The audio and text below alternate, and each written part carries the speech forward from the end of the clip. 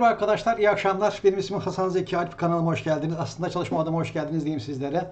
Bu kanalda sizlere modern programlama dilleri, arkeik programlama dilleri anlatıyorum.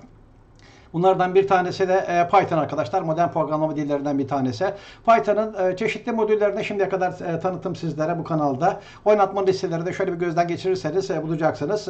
Ve son zamanlarda 2023'ün bu bahar döneminde de sizlere bu bahar dönemi yapay zeka, veri bilimi, makine öğrenmesi, derin öğrenme konularında dersler vereceğim demiştim. Bunlardan bir tanesi de NLTK modülünün tanıtımı ve NLTK modülüyle yapay zeka uygulamaları sevgili arkadaşlar. Diyeceksiniz NLTK nedir? Tabi NLTK hakkında fikri olanlar için bu e, ders e, beklenen bir derstir. E, onu söyleyeyim. Çünkü NLTK'nın daha doğrusu NLP uygulamalarının ilk dersini birkaç hafta önce sizlere sunmuştum. Ve de 2,5-3 saate yakın bir ders olmuştu. Yabancı kaynaklardan e, Türkçeleştirerekten sizlere sunuyordum. Bugün de sizlere yine NLTK modülünün açıklamaları e, dahilinde bu e, modülün nelere kadir olduğunu, neler yapılabileceğini sizlere anlatacağım. Ancak e, bu sefer e, e, NLTK'nın şimdiye kadar e, anlattığım 6 ders, 7 dersinden farklı olaraktan bu NLP adı altında veya işte NLP e, ile e, ayırt edebileceğim bir şekilde ikinci dersi anlatmış olacağım arkadaşlar.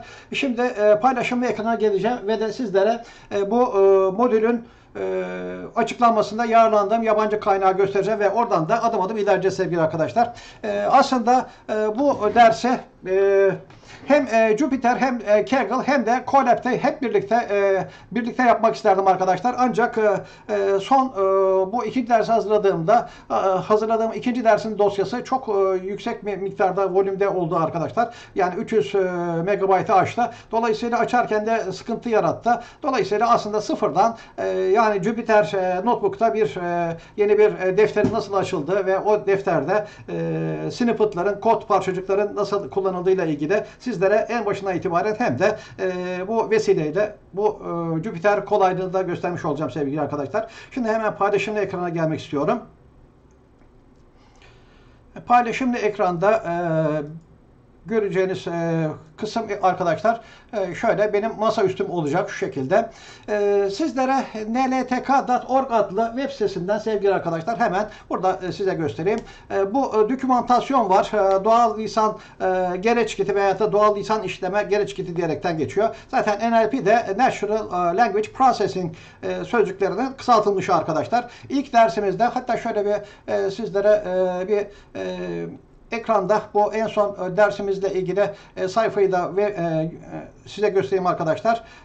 Şöyle tabii şu anda canlı yayını görüyorsunuz. İlk ders işte iki buçuk saate yakın bir tutmuştu arkadaşlar. Aslında şu da karıştırmamak lazım. Hem Python'ın dersini anlatmıştım NLTK ile ilgili. Fakat bu sefer de doğrudan doğruya nltk.org adlı bir dokümantasyon var. Bir web sitesi var. O web sitesinden sizlere konuları anlatacağım. Yani ilk ders hakkında da şuradan da fikir sahibi olabilirsiniz. Onu kastettim bahsettim sevgili arkadaşlar. Şimdi hemen e, şu dokümantasyonu nltk.org adlı dokümantasyonu açaraktan neler, neden bahsediyoruz bunu göstermek istiyorum arkadaşlar. Aslında burada e, ilk başlangıçta hemen e, şöyle diyebiliriz ki İngilizce cümle yapısındaki ögeleri e, biz e, çeşitli e, biçimlerde, çeşitli metotlarla ayırt edebiliriz. Bu e, kelimelerin köklerine bulacak şekilde e, üzerlerinde e, işlem yapabiliriz. Bunları tek tek ögelere bölebiliriz. Tokenize dediğimiz ve bunların üzerinde anlam bilim işlemleri de yapabiliriz. Dolayısıyla yazılı bir metin e, içerisinde o e,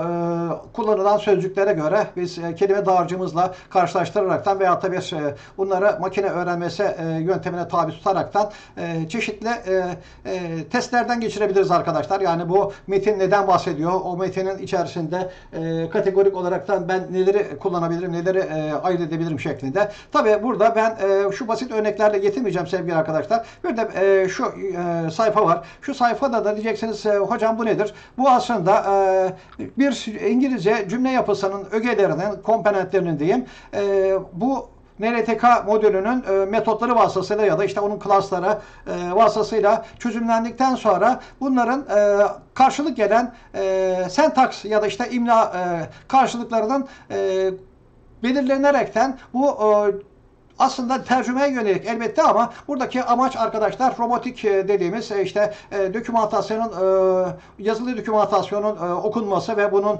analiz edilmesi ve senteze ulaşılması tekrar. Ya da işte sözel konuşma konuşmanın alg- algılanması ve konuşmadaki ögelerin yine buradaki modülün e, bileşenleri vasıtasıyla modülün e, metotları vasıtasıyla anlaşılır hale getirilmesi arkadaşlar. Şimdi e, burada e, tabii bu e, dokümantasyonun URL'ini size verdikten sonra bu e, dokümantasyon aslında çok zengin arkadaşlar. Hemen şöyle e, biraz ilerleyip baktığımızda aslında how to diyerekten hemen şöyle e, bir e, örnekler silsilesi var arkadaşlar. E, tabii ben buradan da e, devam etmeyeceğim. E, çünkü e, bunları size e, baştan tanıtıyorum. Fakat bu asıl bu Bible dediğimiz bu ana işte e, el kitabında manualında bölümlere ayrılmış vaziyette arkadaşlar. Bu bölümleri ben size işte bir derste ne kadar ünite yapabilirsek bunları size göstereceğim, açıklayacağım arkadaşlar. Örneğin burada işte e, hatta şöyle söyleyelim. Bu e, söz konusu kitabın nltk.org'un slash book dediğim zaman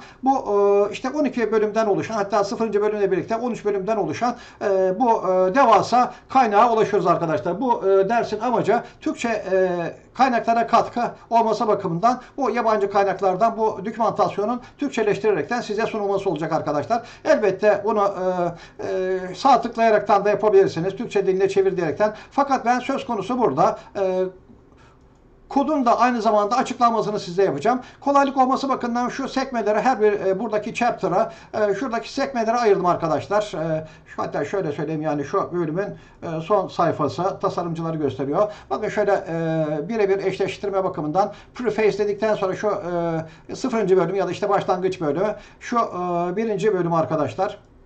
Şöyle language processing and Python diyerekten burada e, bölümlere sizlere anlatmaya başlamıştım. Hatta şöyle söyleyeyim aslında bu e, Jupyter e, eski bir versiyonunda e, Python'ın eski bir versiyonunda fakat buradaki kodları eğitim maksatlı olaraktan ödünç alıp sizlere kendi Jupyter Notebook ortamında sunacağım arkadaşlar. Aslında birinci dersi eğer takip etmişseniz neden bahsettiğimi bileceksiniz. İkinci bölümde de aynı şekilde bu sefer elbette bu Evet, e, bugün sizlere e, göstereceğim ve hatta üçüncü derste göstereceğim konular buradan başlıyor arkadaşlar. Hemen şöyle söyleyeyim. Aslında diğerleri de şöyle bir fikir verirsem. E, üçüncü bölüm ham verinin işlenmesi, ham text dosyasının işlenmesi, dördüncü yapıslandırılmış programların yazılması, edit edilmesi, beşinci etiketlerin, e, sözcüklerin etiketlenmesi ve kategorik e, bölümlere ayrılması, e,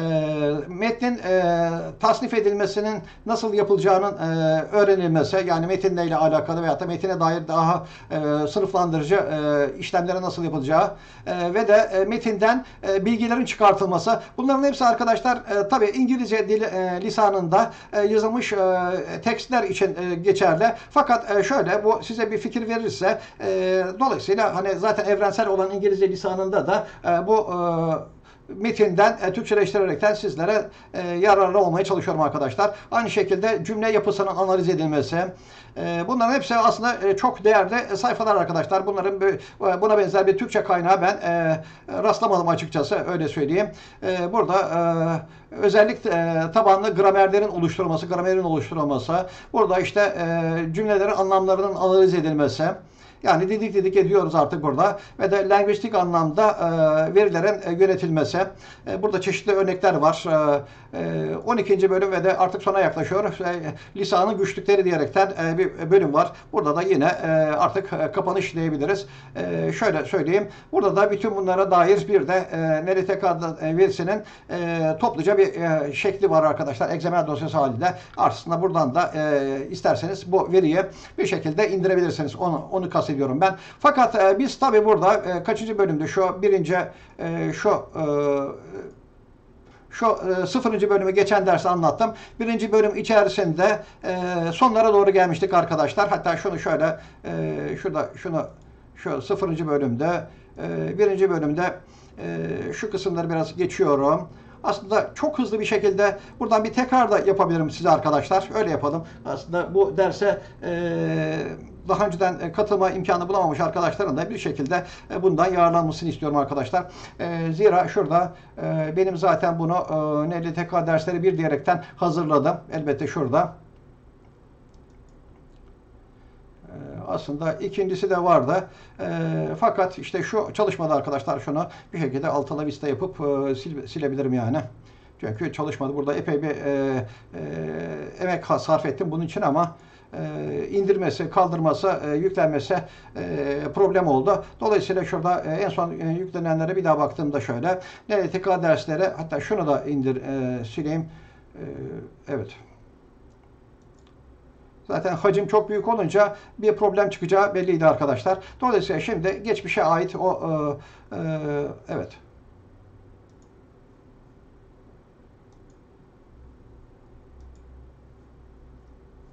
Zaten eksi istiyor. Tamam şöyle bir daha bir refresh yaptığımızda muhtemelen bu da e, kaybolup gidecektir. Şimdi en son yöne, e, e, yenilenenler arasında NRTK derslere 2 diyerekten şu var. Hala var. evet kendim bir tane daha oluşturacağım burada öyle diyeyim arkadaşlar. Şöyle diyeyim. E, bakın şu andan itibaren burada da e, şöyle söyleyelim. NRP NLTK derslerine hoş geldiniz diyorum. Bu da ders 2 olsun.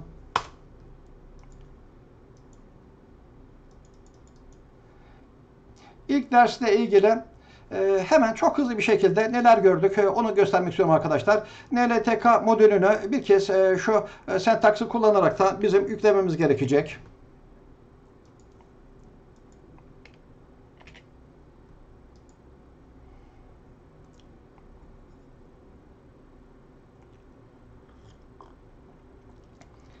Elbette bu ikinci dersimiz şu untitled diyor. Bunu bir kez daha bir save edelim. Save as diyeyim.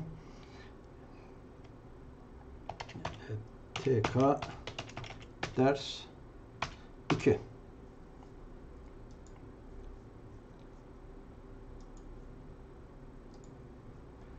İki. Şimdi e, elbette e, birinci derste birinci derste epey yer anlattık. E, şöyle hızlı bir şekilde geçmek istiyorum arkadaşlar. NLTK modülünün instalasyonunu gerçekleştirdikten sonra bu modülü e, bünyemize alıyoruz. Import NLTK diyerekten arkadaşlar. Şurada bir kez daha şunu şurada çalıştıralım. Arkasından ben şöyle bir versiyon kontrolü yapıyorum. 3.7 dedik. Daha sonra from NLTK import all dediğimde e, ben bunun e, bütün özelliklerini e, bünyeme dahil ediyorum. Hatta burada direktöre NLTK dediğimde bunun içerisindeki modülleri görüyorduk arkadaşlar. Çok hızlı bir şekilde geçeceğim bunu. Çünkü e, bu e, kısmı hani bir şekilde anlat, anlatıyor olmam lazım. Daha sonra arkadaşlar e, NLTK download diyerekten ben şu e, komutu burada çalıştırıyorum.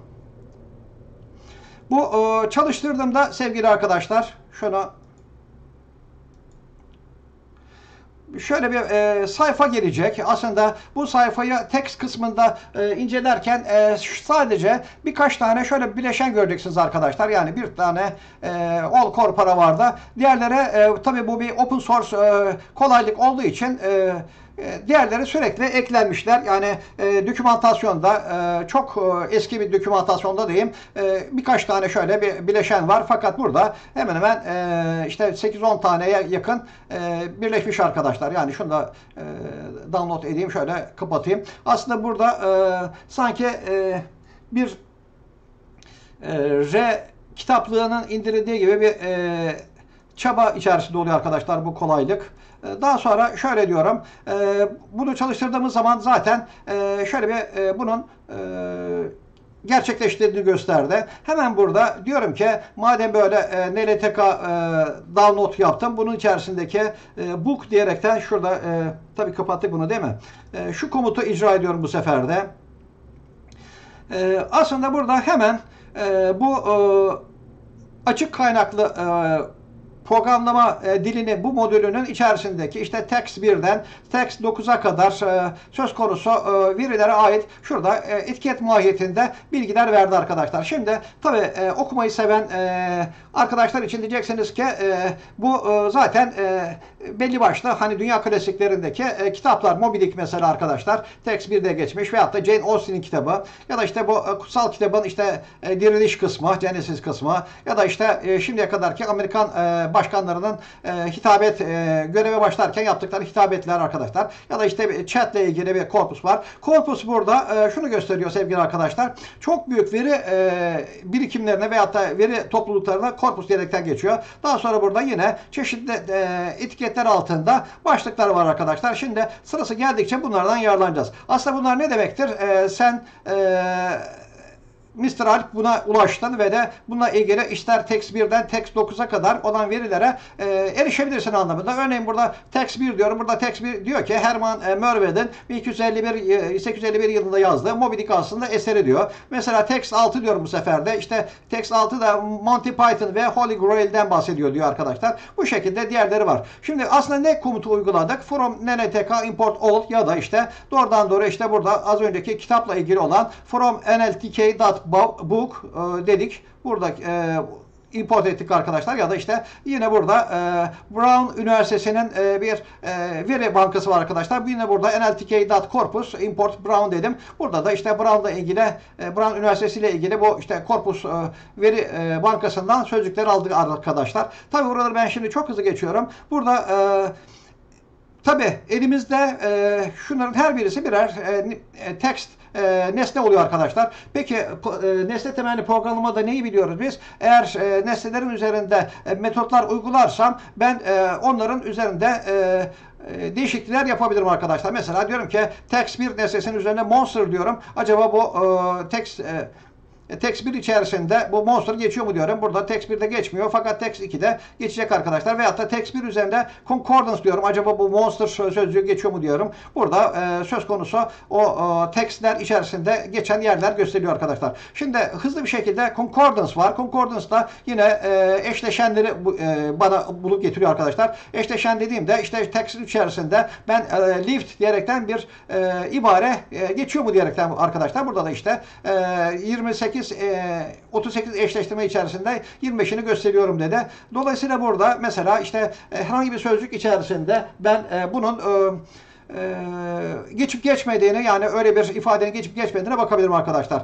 Tabi burada e, diyeceksiniz hocam e, text 1'den text 9'a kadar biz sadece bu e, NLTK'in e, veri bankasının kolaylığını kullandık. Aslında arkadaşlar şurada text diyerekten siz herhangi bir şekilde bir e, e, text hale getirilmiş e, bir e, edebiyat eserinin içerisinde de bu benzer e, bu arama, aramaları yapabilirsiniz arkadaşlar. E, benim e, buna e, benzer çok e, zengin bir e, veri e, bankam var bu bakımdan arkadaşlar. Yani normalde işte e, belirli e, kitapların İngilizce olsun ya da Türkçe olsun bir e, kaynağı var. Yani elektronik kitap olaraktan duruyor. Dolayısıyla siz de bunları e, bir e, string olaraktan da değerlendirebilirsiniz arkadaşlar. Bunu şimdi hızlı bir şekilde concordance metodunda gösterdim. E, örneğin işte burada bir ne demiştik arkadaşlar? Text 4 e, e, diriliş kısmıydı bu kutsal kitabın. Dolayısıyla burada Concordance God dediğimde yine burada bu e, diriliş adlı bölümde e, her şeye kadir olan Allah tam bas, e, baş, e, şu kadar bahsedildi diyerekten var. Burada e, e, bu sefer text 5'te imden bahsediyorum. İşte burada text 5 neydi? E, bir e, e, şu, bir kez daha bakarsak şurada text 5 neydi? E, chat ile ilgiliydi arkadaşlar. Chat ile ilgili ayrıntılarda. Yani demek istediğim bir kere şu e, e, nltk.book import edildikten sonra bu e, book denilen kolaylığın içerisindeki şuradan şuraya kadar olan kısımları alırsınız. Hatta burada Chesterton'ın e, Perşembe e, denilen adam adlı bu kitabı da var arkadaşlar. E, şimdi burada hangi sözcükleri bulduk? E, Concordance'ı kullandık arkadaşlar. Ee, biraz daha ilerleyelim. Hem bu bir anlamda tekrar olacak. Çaylarımızı, kahvelerimizi hazırlayalım.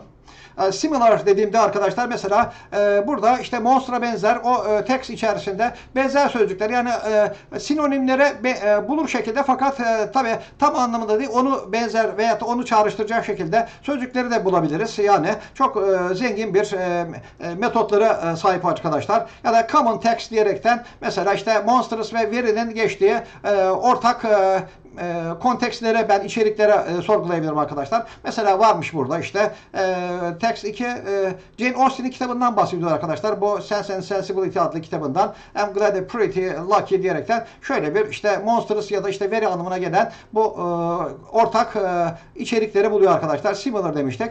E, burada e, bir de şu metot var arkadaşlar. Mesela dispersion plot dediğimiz şu e, metodu çağırdığımda ben e, diyorum ki burada işte e, şu e, Amerikan başkanlarının görevleri başlarken yapmış olduğu e, konuşmalar. Buna balkon konuşmaları dedik arkadaşlar. Mesela o e, text 4 bu balkon konuşmaların tamamı. Mesela citizens, e, democracy, freedom, duties ya da işte America denilen şu sözcüklerden işte e, kaç sefer bunlar kullanıldı. Yani bunların saçılma veyahut da dağılma e, grafiğini ben isteyebilirim arkadaşlar. Yani bir e, metin içerisinde kaç tane e, bu kullanıldı veya kaç sefer kullanıldı diyerekten burada da yine e, NLP e, NLTK modülünün dispersion underscore plot denilen şu metodu benim işime yarayacak arkadaşlar. Tabii bu text 4 herhangi sizin bir başka bir e, stringiniz de olabilir de şunun e, içerisinde şu listeyi koyduğumda şu liste ögeleri bunun e, saçılma veya işte e, sözlüksel anlamda e, tekrarlanma e, büyüklüğünü veriyor arkadaşlar. Şöyle mesela işte vatandaşlar sözcüğü çok fazla kullanılmış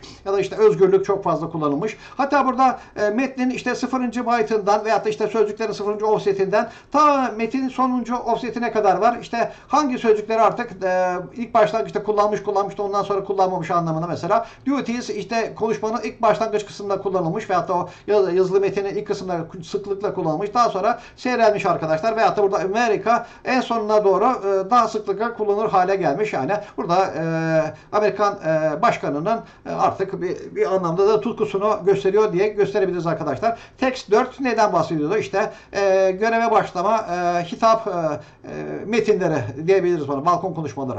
Aynı zamanda burada generate denilen şu e, klası da kullanabiliriz arkadaşlar ve herhangi bir parametre kullanmadan.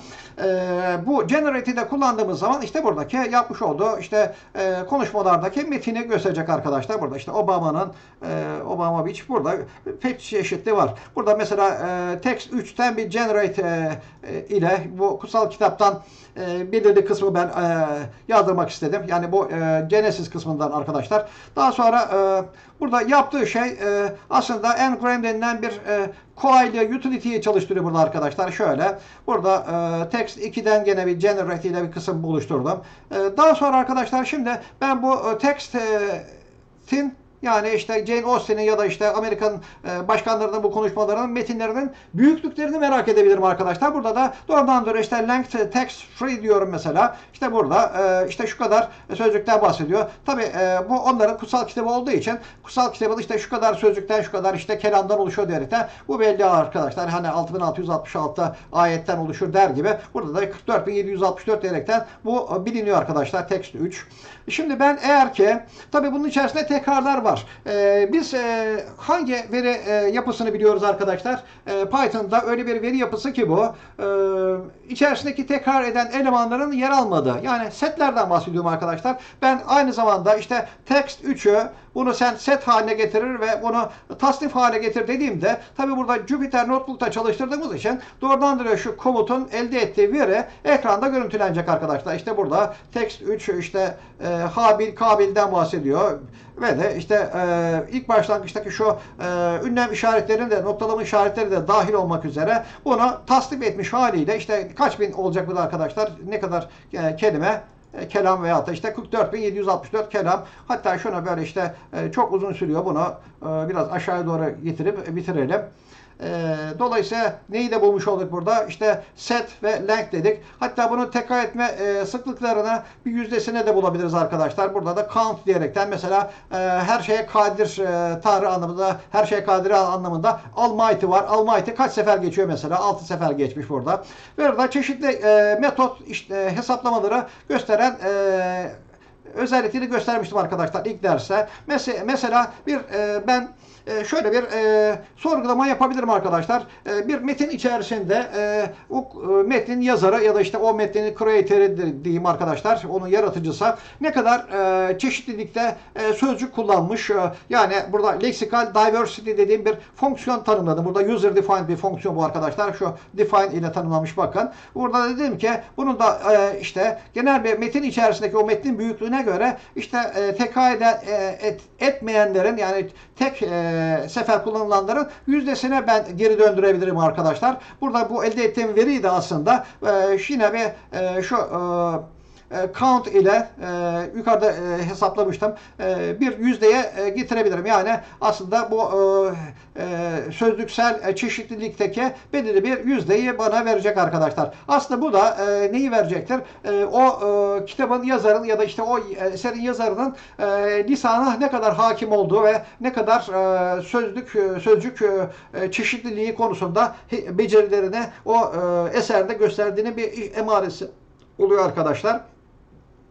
Ee, burada e, bir de e, ben e, Sent 1 diyerekten bir liste hazırladım. hazırladım. Bu işte yine Merville'in Moby Dick adlı eseriyle ilgili işte ilk cümlede işte Call me İsmail diyerekten bana e, beni İsmail diyerekten çağır diyerekten bir liste arkadaşlar burada. Hatta bunun e, cümle elemanları 1, 2, 3 bir tane de işte noktalama var. Şu period dediğimiz e, bunu da e, içeri şekilde sent 1 dedikten sonra şunu tanımladım. Arkasından sent 1 yazdırdığımda işte bu klasik bunu liste olaraktan alacaktır. Veri yapılarından listelere benzeterekten bunu call me İsmail diyerekten bunu verecek arkadaşlar. Tabii ben hemen bu sent 1'in e, bu array'in uzunluğunu görmek istedim. Ne kadar? 1, 2, 3, 4 tane. Yani bunun length'e 4 byte'lık veyahut da 4 e, hücrelik arkadaşlar. Burada şimdi ben e, sent 1'in tabi yukarıda bu e, tanımlamış olduğum e, e, sözlük e, sözlüksel veyahut da işte lügat e, çeşitliliği dediğimde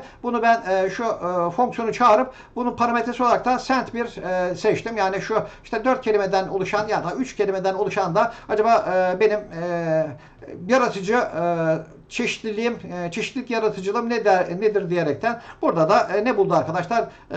Bunun e, lexical diversity'ye şurada işte tabii şunu bir çalıştırdık. Şöyle gösterdim. Lexical diversity'yi şurada elbette bir çalıştırayım ki bunu kapsamım dahiline alsın. Şunda da örneğin çalıştırdım diyeyim. Burada işte e, bunun yüzdesini de hesaplayıcı işlemi şöyle yapıyorum.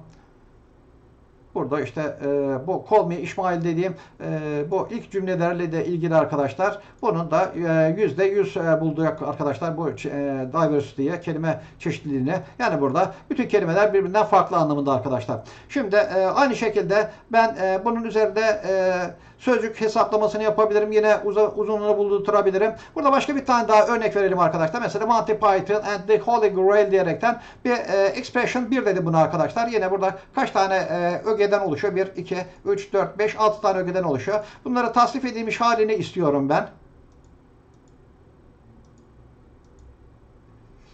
Tabi bunu ne yaptı? E, alfabetik sıraya soktu. İlk harfleri de göz önüne alaraktan sevgili arkadaşlar. Tabii şimdi burada bunu sayması kolay ama ben dedim ki işte bu expression 1'in e, içerdiği e, e, sözcük çeşitliliğini bulmak istiyorum arkadaşlar. Burada hiç tekrar eden var mı? Yok aslında. Burada da işte 2, 4, 6 taneyi buldu getirdi. Burada mesela işte the, the iki sefer tekrar etseydi mesela the Monty Python veyahut da e, bir şekilde yani ikinci bir kez tekrar etseydi bu o tekrarı almayacaktı arkadaşlar. Çünkü burada neden bahsediyoruz? Setten bahsediyoruz. Setler e, Python'daki veri yapılarında tekrar etmeyen e, ögeleri içeren e, veri yapıları arkadaşlar.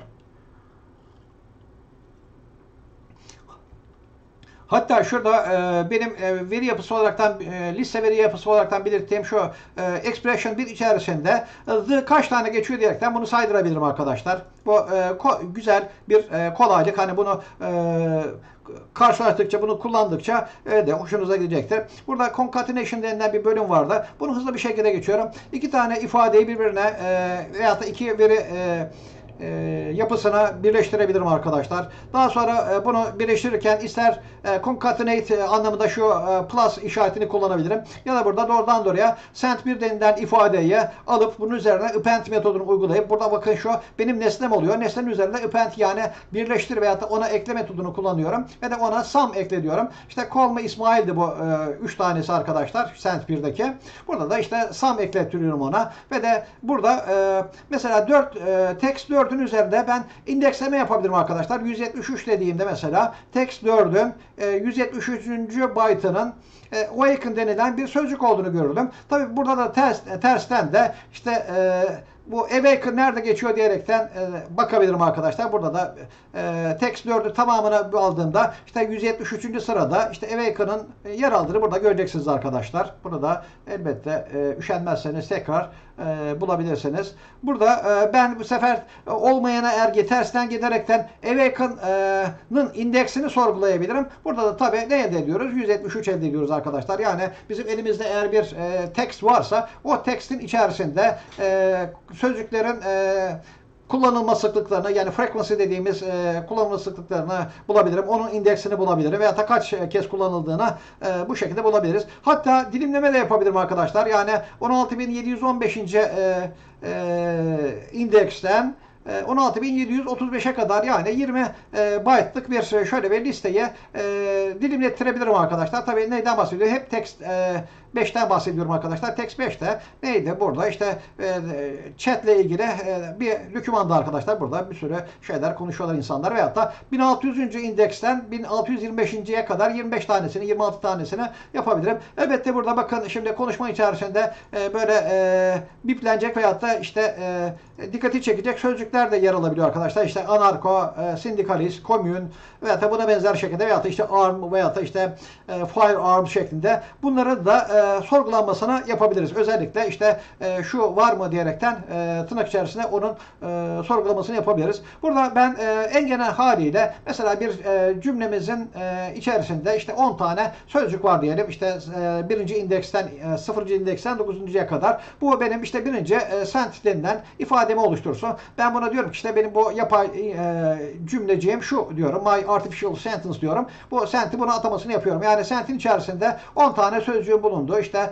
e, yenerek 3 10 tane kelime var arkadaşlar. My Artificial Sentence'a tıkladığım zaman burada ne yapacaktır? Elbette e, bu e, sözcüklere e, sanki işte nümerik bir e, listeymiş gibi bunu yazdıracak arkadaşlar. Bakın şöyle ben e, burada 0. indeksten ya da işte 9. indekse kadar e, ulaşabilirim herhangi bir e, bu e, ifadenin içerisinde. Bunlar zaten e, Python'da bildiğiniz e, ifadeler. Ancak e, söz konusu bir e, text ya da işte bir e, metin e, söz konusu olduğunda da bunun içerisinde ilgili ögelere ulaşabilirsiniz arkadaşlar. Hatta 10. dediğimde 10. yok çünkü bu index e, list e, out of range diyerekten bana verecek arkadaşlar. Aynı şekilde negatif indeksleme de var. Bunları biraz hızlı geçiyorum şimdi. Eee e, dilimlemeyi yapıyorum veyahut da buna e, kendim e, e, kendim yeni veriler katabiliyorum arkadaşlar. E, bunu biraz daha şey yapalım. Başka bir şekilde mindset diyerekten yeni bir ifade tanımladım burada. Bunun üzerinde yine dilimleme yapabilirim arkadaşlar. Yani şu veri yapısının içerisinde işte şuradan şuraya kadar diyerekten ben bunun belirli bir kısmını alabilirim. Ancak burada e, şunu uppercase, lowercase e, hassasiyetini gözetmemiz lazım arkadaşlar. Burada aynen bunu nasıl tanımlamışsam arkadaşlar bunu tabii şurada tanımlamayı bir kez daha yapmam lazım şurada. Burada dilmemeyi yaptım. Noun phrase dedim. Yani isim e, ifadesi e, Aynı e, burada atama yaparken hangi sözcüğü kullanmışsam arkadaşlar aynısını kullanmam gerekir ki buna ulaşabilmek için. Burada ben değiştirdim. Şöyle yaptığımda words diyerekten sen böyle bir tanımlama yapmadın diyor arkadaşlar. Yani burada büyük harf küçük harf e, hassasiyeti var. Onu e, bilmek gerekecek. Veya tabii işte burada kamera söz camelot sözcüğünü ben veriyorum. E, daha sonra işte bu e, sorgulattığımda e, veriyor. Hatta bunu büyük harfli yazıyorum ki acaba bunu da e, yakalayabilecek mi diyerekten ona da hata mesajı verdi arkadaşlar. Yine burada text 1'i hatırlıyorsanız e, Marvel'in e, Moby Dick adlı da burada setleyerekten ben onun e, vocabulary'sini görmek isteyebilirim arkadaşlar. Yani o Marvel'in Moby Dick adlı eserindeki tekrarlanmayanları içereceği şekilde acaba bu yazarın kelime hazinesi ne kadar zengin diyerekten burada e, vocabulary'nin length'ine baktığımda burada işte 19317 demek ki işte 19317 farklı kelime sözcük kullanmış arkadaşlar. Aslında burada da işte bu Marvel denilen adamın da e, edebi e, bir kişilik olaraktan da oldukça e, geniş bir e, vocabulary'sinin veyahut işte bu kelime dağarcığına sahip olduğunu görüyoruz arkadaşlar. Bakın şurada bunu da nereden anladık? Text 1 bu e, Marvel'ın e, Moby Dick aslı eserinin yer aldığı e, kısım arkadaşlar. Bunun üzerinde set dediğimde tekrarlananları ortadan kaldırdım. Dolayısıyla bu vocabulary adamın işte her seferinde birbirinden farklı sözcüklerinin yer aldığı e, bir e, veri e, elde ettik arkadaşlar. Bunu da length dediğim zaman bunun uzunluğunu elde ettim. Yani onu bir array gibi kabul ettim. Burada da işte o uzunluk ne yaptı? E, e, neyi buldu arkadaşlar burada?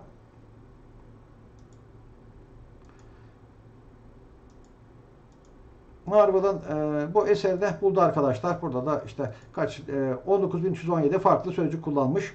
E, bildiğim kadarıyla Shakespeare falan 50-60 bin e, farklı kullanabiliyor arkadaşlar eserlerinde. Öyle tahmin ediyorum. Ee, işte burada da e, ben e, şu MySenterek'te 10 tane sözcük yazmıştım arkadaşlar. Bunu ben diyorum işte ne kadar farklı kullanmışım. Burada da vocabulary size e, 10 oldu arkadaşlar. Yani Word 1'den Word 10'a kadar 10 tane yapay e, cümleciğin e, parçacıklarını oluşturmuştum arkadaşlar. Aynı şekilde e, stringleri şu şekilde tanımlayıp yine bunun e, sıfırıncı indekse bir, e, veyahut da sonuncu indeksine kadar hepsine ulaşabilirim arkadaşlar. Yani e, ister veri yapısı şeklinde isterse e, şu şekilde string şeklinde olsa bunun e, byte'larına veyahut da harflerine diyeyim teker teker ulaşabilirim arkadaşlar. Burada tabi bunun üzerinde birleştirme yapabilirim. İşte e, boşluk e, alıp bunun üzerinde join e, metodunu kullanıp Monty ve Python'ı bu şekilde birleştir dediğimde aralarına şöyle boşluk ataraktan e, e, birleştirebilirim. Ya da bunlara e, şöyle e, şu nesneyi alıp bunun üzerinde split e, metodunu uygulayabilirim arkadaşlar. Veyahut da burada işte e, şöyle e, e, bir takım e, cümle ögelerini kullanıp bunu da şöyle bir e, tıklayayım. E, burada e, saying'e e, yazdırabilirim. İşte burada işte şunlar kullanıldı diyerekten. Ben e, bu e, cümleciyi arkadaşlar şimdi e, diyorum ki e, sen bunu set haline getir ve de bunu tokens diyerekten e, e, elemanlarına, bileşenlerine ayır diyorum arkadaşlar. Yani set deyince tabii tekrar etmeyen elemanlar olacak. Bak e, burada birkaç tane olmasına rağmen e, after all and done is tekrar eden bir tane bile yok. Bunun üzerine ben şimdi tokens diyerekten e, e, type tokens dediğimde bunun set olduğunu göreceğiz arkadaşlar. Zaten set neydi? Birbirini tekrar etmeyen elemanlardan oluşan veri yapısı arkadaşlar. Burada ben e, tokens'ı madem bu tokens değişkenine atamasını yaptım arkadaşlar. Burada sorted diyorum. Sen bunu tasnif edilmiş halde e, yaz diyorum arkadaşlar. Burada da bakın alfabetik olaraktan işte A'dan D'ye, I, M, S ve T, T, T harfine kadar e, verdi arkadaşlar. Burada e, tasnif edilmiş hali. Burada bakın e, nesne şu metot. Metoda ne uyguladım? Şu tokens nesnesini uyguladım. Tokens nesnesi de zaten içerisinde şu verileri içeren bir setti arkadaşlar. E, Burada e, aynı zamanda e, akıllı indeksleme dediğimiz yani eksi 2'den itibaren olanları da diyorum arkadaşlar. Yani eksi 1, eksi 2 yani set ve then'i al demek istiyorum arkadaşlar şurada. Burada bir metodumuz var. Frequency distribution. Bu fizikteki frekansla karşılaştırılması arkadaşlar. Buradaki frequency distribution tekrarlanmanın dağılımı yani bu metin üzerinde ne kadar şeklinde. Tabi bu yine Marvel'ın kitabından bahsediyoruz. Ben burada text 1'de mesela işte frequency distribution metodunu uyguladım ben şu metodu uyguladım. Arkasından da bu e, dedim ki bu e, sen bu frequency distribution'a e, yaz dedim arkadaşlar. Burada mesela çok uzun bir liste şeklinde verdi tabii bu. Ne dedi burada mesela işte 26 260 bin işte bir 19.317 numuneden işte şu kadar bir sonuç elde ettim dedi arkadaşlar. Yaptığımız şey ne arkadaşlar? Frekans dağılımı dediği tekrarlama sıklıklarının bu metin içerisinde ne kadar nasıl şekilde dağıldığı. Burada da aslında ben de bir tane daha bir metodum var. E, Metot e, çok fazla arkadaşlar. Yani e, her aklına e, gelen veyahut da şu da yararlı olabilecek diyen e, e, kişiler bunu e, API olaraktan tasarlamışlar. Most common diyor mesela en yaygın olan 50 tanesini burada işte e, en yaygın 50 tanesi dediğimde de en çok en sıklıkla kullanılan anlamında arkadaşlar. Virgülü epey bir sıklıkta kullanmış arkadaşlar. Mesela şu, daha sonra the e, definite article'ı mesela işte 13.721 kez kullanmış ya da işte period dediğim şu noktayı 6862 sefer kullanmış ya da of dediğimiz şunu işte şu kadar kullanmış and şu e, to e, ve de bu e, dokümantasyonun e, artık e, bütün e, kılcal damarlarına varınca kadar ben e, bu NLTK adlı modülün çeşitli metotlarını kullanaraktan tabii ki baştan bunu e, e, downloadlayaraktan e, ilgili e, open source e, kitaplığını al, e, açmam gerekecek. Buna erişmem gerekecek arkadaşlar. Burada da bu Marvel'ın e, burada mesela e, e, Balina ile alakalıydı. Balina kaç tane geçti dediğimde de işte burada F e, Distribution 1 dediğimde Balina 906 sefer geçmiş arkadaşlar. Zaten kitap bir mavi beyaz balina ile ilgiliydi galiba. Burada şimdi e, tekrar hatırlatma bakımından işte from nltk.book deyip, e, deyip bunu almıştık arkadaşlar. Burada işte Metin 2'deki e, tekrarlamalara baktığımızda bu Jane Austen'in kitabıydı arkadaşlar. Burada da e, benzer şekilde yine bu Jane Austen'in ben e, birkaç tane kitabını okudum arkadaşlar. Epey burada da e, e, sıklıkla çok sıklıkla kullanılan sözcükler var ve de burada en yaygın kullanılanlara baktığımızda da işte burada e, bir dilin işte Elinor dediği kişi de epey bir sıklıkla kullanılmış. Bunlar da işte kitap içerisindeki e, kahramanlar arkadaşlar. Burada mesela love e, e, sözcüğünün dağılımını merak etmişiz. İşte burada e, F distribution list 2 dediğimizde love e, kaç 77 sefer geçmiş. Burada hemen e, şöyle yapabiliriz. Ben e, 50 tane en e, sıklıkla kullanılan 50 taneyi çizdirmek isteyebilirim arkadaşlar. Plot e, fonksiyonunu kullanıp tabi hep F, F disk 2'den bahsediyorum. Şundan bahsediyorum arkadaşlar. Ve de burada e, seçeneği cumulative true seçtiğimde bakın şurada e, ilk başlangıçtaki şu sözcüklerin e, ne kadar sıklıkla kullanıldıklarını cumulative count dediğimiz şu şekilde grafiğini de çizdirebiliriz. Yani aslında e, bizim elimizde eğer işlenebilecek bir veri varsa sevgili arkadaşlar o veriyi e, bir değişkene atamasını yapıp daha sonradan da NLTK adlı modülü e, import edip o e, modülün help dosyalarını veyahut da benim bu e, derslerimi de izlerseniz buradaki metotları kullanaraktan o e, söz konusu o nesnenin üzerinde çeşitli işlemler yapıp e, bütün kılcal damarlarına kadar o metni inceleyebiliriz arkadaşlar. Bir de şimdi hypaxis denilen bir kavram var. O da şöyle bir metin içerisinde e, elbette e, bir sözcüğün e, sıklıkla kullanılması onun önemini veyahut onun üzerine odaklanıldığını gösteriyor. Bazen de tek bir sefer geçer mesela metinde bir sözcük tek bir sefer geçer veyahut da öyle gerektirir diyeyim arkadaşlar. Buna da Hepex denilen e, bir e, metotla bunu buluyoruz. Dolayısıyla e, ikinci kez tekrar olmayan veyahut da çok nadiren kullanılan, e, kullanılan diyeyim e, meto, e, sözcükleri bulmak üzere işte first distribution bir deyip bu nesnenin üzerinde hepex'i uyguluyorum. Hepex bir kez kullanılan veyahut da tek bir sefer e, geçen anlamında arkadaşlar. Burada da işte e, Hepex e, metodu kullanıldıktan sonra çık çıkan şunları gösteriyor arkadaşlar. Burada şimdi e, sözcüklerin e, daha ince hassas e, seçimiyle ilgili e, kısımlar da var arkadaşlar. Burada e, bunu geçen ders, e, dersin artık sonlarına doğru geliyoruz. Burada işte text 1'i aldım. Moby Dick e, romanını aldık arkadaşlar. Burada set haline getirdim. Bunu V değişken atamasını yaptım. Ve de diyorum ki burada işte ben e, bu işte bu V nesnemin üzerinde e, sözcüğün uzunluğu 15'ten 15 harften büyük olan ları bana e, bir liste haline getir. Bunu da long words yani uzun kelimeler diyerekten bir e, değişkene atamasını yapıyorum. Nesneyi elde ettikten sonra işte bu nesnenin üzerinde de tasnif et dedim arkadaşlar. Burada bakın zaten 15'ten fazla. Yani 15'in üzerinde olan yani e, word length 15'in üzerinde olacak. If length e, greater than 15 dedim. Yani 15 dahil 15'in üzerinde olacak. 15 dahil değil. Dolayısıyla bakın şimdi şu e, e, ifadeye bir kez daha baktığımızda e, bunu şöyle tercüme ediyoruz arkadaşlar. W öyle ki e, ben e, şuradaki V setimin içerisinde yani bunu tek e, tekil hale getirdikten sonra bunun içerisinde o sözcüğün uzunluğunun 15 olduğu sözcüklere for in döngüsüyle W olaraktan e, travers ettir diyorum, taratır diyorum arkadaşlar. Elde ettiğim nedir? Aslında yine sözcük. Fakat o sözcük artık 15 kelimeden veya 15 harften daha fazla arkadaşlar. Daha fazla bir uzunluğa sahip. Dolayısıyla ben bu nesneyi elde ettikten sonra compiler e, yorumlayacağım. Interpreter'ım şuraya geliyor. Buradan sonra da ben o nesne üzerinde tasnif etme metodunu kullanıyorum. Sort diyorum. Bakın şurada hepsi.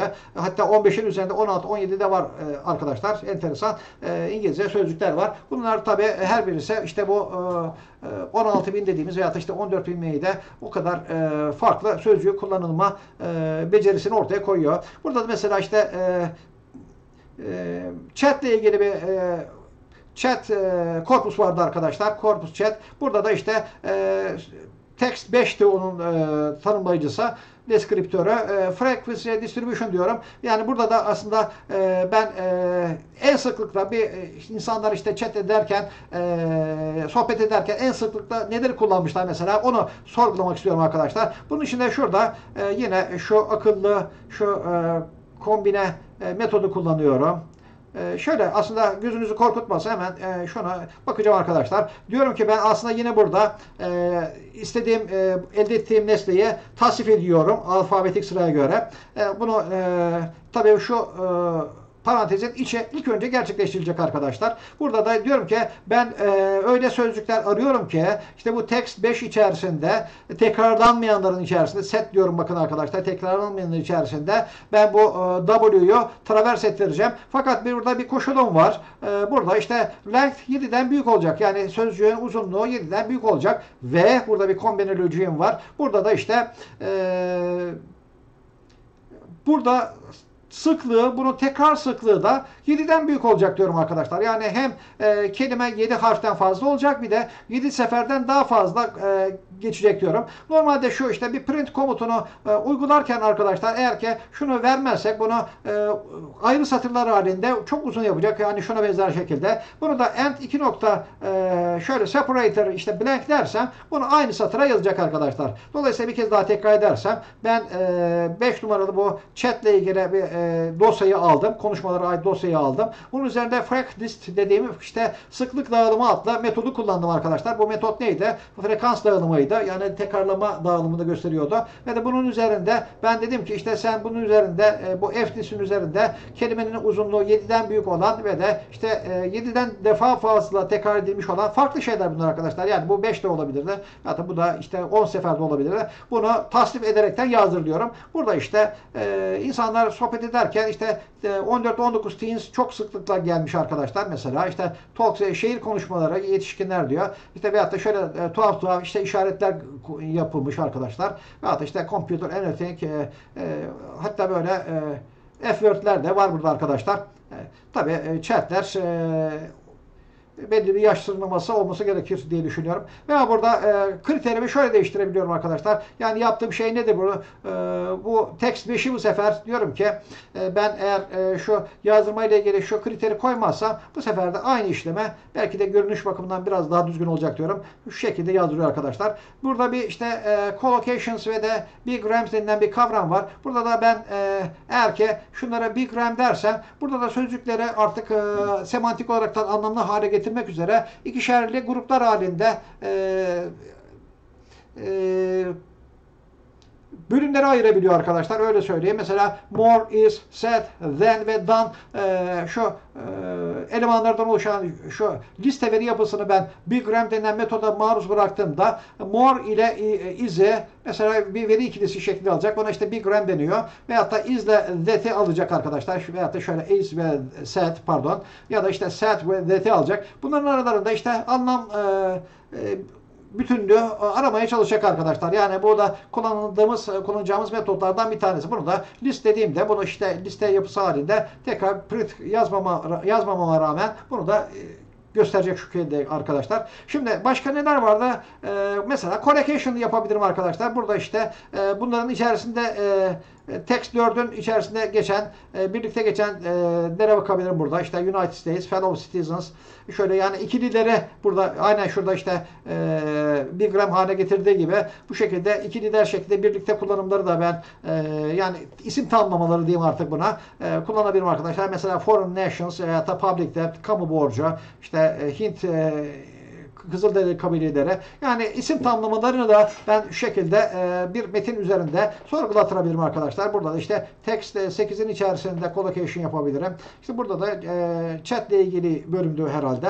Başka şeyleri de sayabilirim arkadaşlar. Mesela ben e, derim ki işte text 1'in içerisinde e, sözcüklere e, sözcüklerin uzunluklarını yani insanlar ne kadar kısa ya da işte ne kadar uzun e, pardon bu text bir e, Marvel'in kitabıydı arkadaşlar. Kullanmış. Mesela burada işte e, e ile başladı muhtemelen.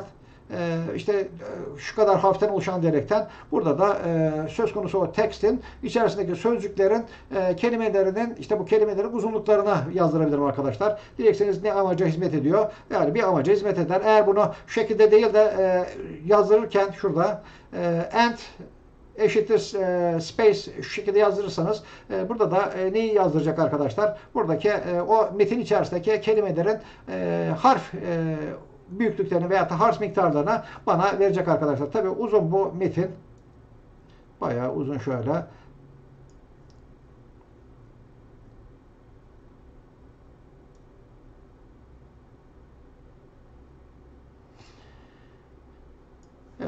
Burada peki başka neler yapabiliriz? İşte bu e, metin üzerinde ben e, onun e, uzunluklarına bakıp bu uzunlukların yani harf e, sözcüklerin e, uzunluklarının diyeyim artık ne kadar harf içeride. Bunların ben bir e, frequency distribution dediğim şu e, frekans dağılımını, e, saçılma, yayılma dağılımını görmek isteyebilirim arkadaşlar. Burada işte f liste atamasını yaptıktan sonra ben diyorum ki burada işte e, ne yaptı? İşte 19 tane e, örnek buldu. İşte 260 bin bu 19 numuneden e, ben 260 bin çıktı elde ettim. Mesela işte burada işte 3 harften oluşan 50.223 muş, müş bir harften oluşan işte 47.933'müş. Bunlara ait indekslere elbette verdi arkadaşlar. Yani burada e, en yaygın e, diyerekten e, burada most common diyerekten yine sorgulattığımda da bu sefer işte 3 harften oluşanlar işte şu kadar sıklıkla kar, karşılaşılmış şeklinde arkadaşlar. Mesela 20 harften oluşan bile varmış arkadaşlar. Bir tane öyle bir sözcük varmış. Mesela 18 harften de oluşan bir tane varmış.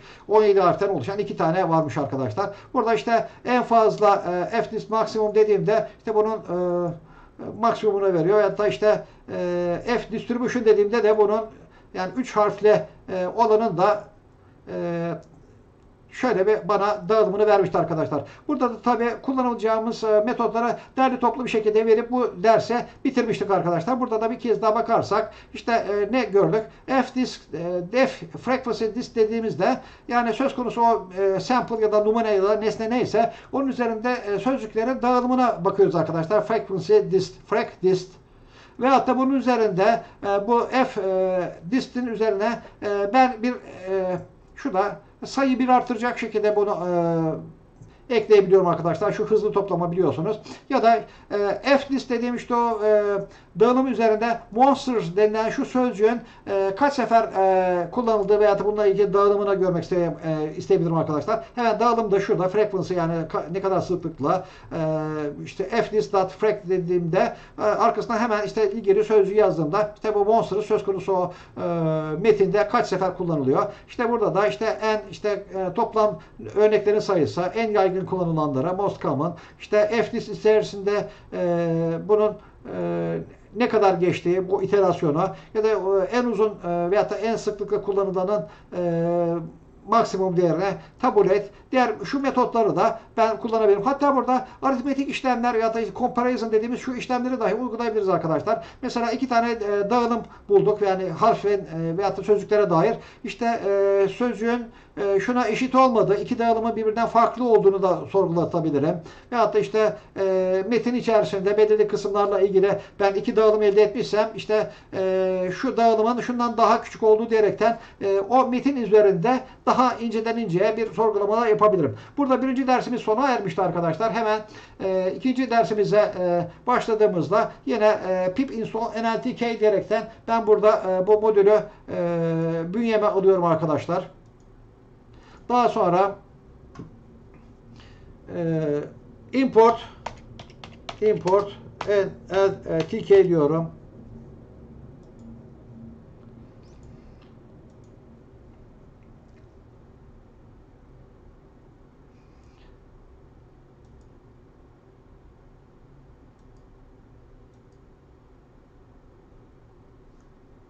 Burasına şimdi hızlıca geçelim arkadaşlar.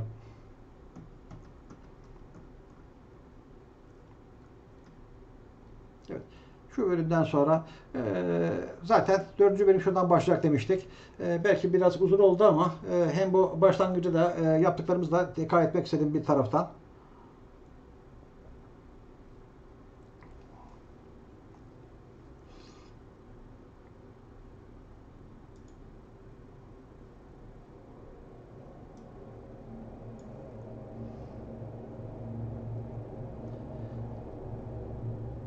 Şu veriyi arkadaşlar. Ups.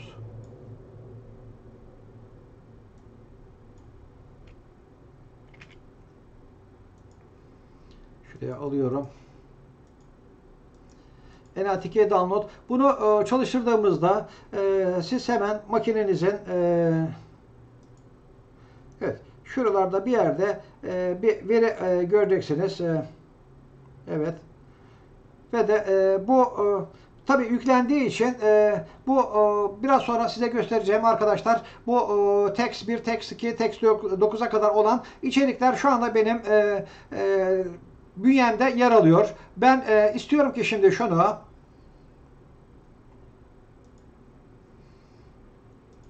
şunu da çalıştırdığımda from nltk.book import all dediğimde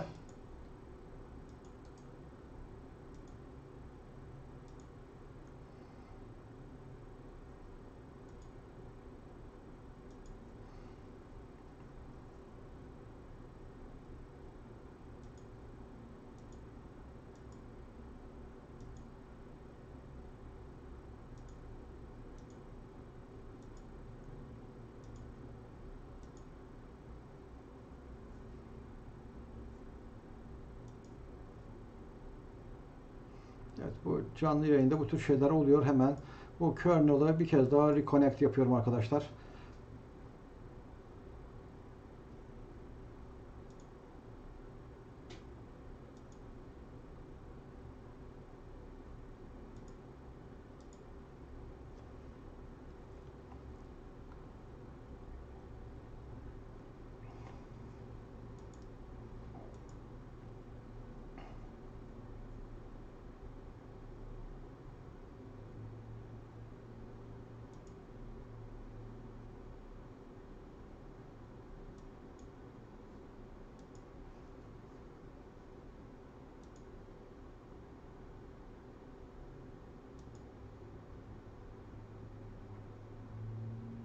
Evet. Hali hazırda zaten bunu yüklemiştik. Bakın şurada e, NLTK modülünü zaten yükledin diyor arkadaşlar. Burada e, diyorum ki e, sen burada NLTK modülünü artık madem install ettikten sonra sen ona import et ve de e, bakın şurada evet e, ve de şu veriyi indir diyorum arkadaşlar. Arkasından da e, bu e, text 1'den text e, 9'a kadar olan e, verileri içerecek olan aslında e, sayfada neden görünmedi onu şurada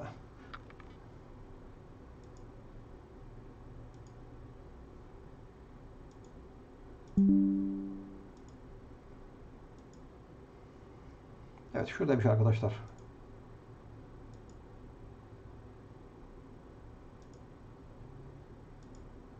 Evet masa üstümü de gördünüz. Şimdi e, şurada arkadaşlar şu e, NLTK e, downloader'ı e, çalıştırdığımda e, bana e, şuradaki e, ögelere e, indirecek. Bakın indiriyor. Ve de bunu e, çalışması demek de benim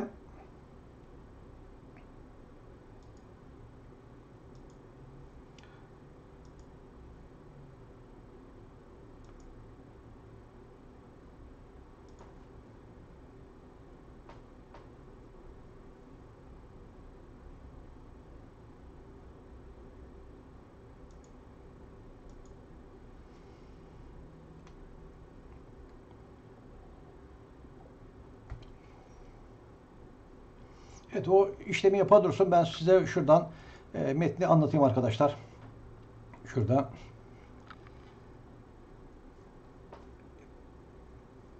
Evet. From NLTK book e, şu komutu e, uyguladık arkadaşlar. Burada da e, metin içerisinde şunu diyordu. Bundan sonra burada e, send 7 dediğimde sevgili arkadaşlar bana şu e, 7 numaralı e, dokümantasyon içerisindeki e, veriyi bana e, verecekti.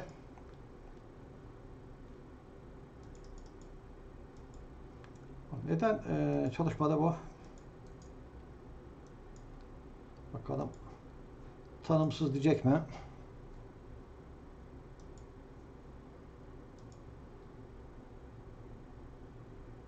Bir kez daha yeni baştan başlatıyorum. Import ettim.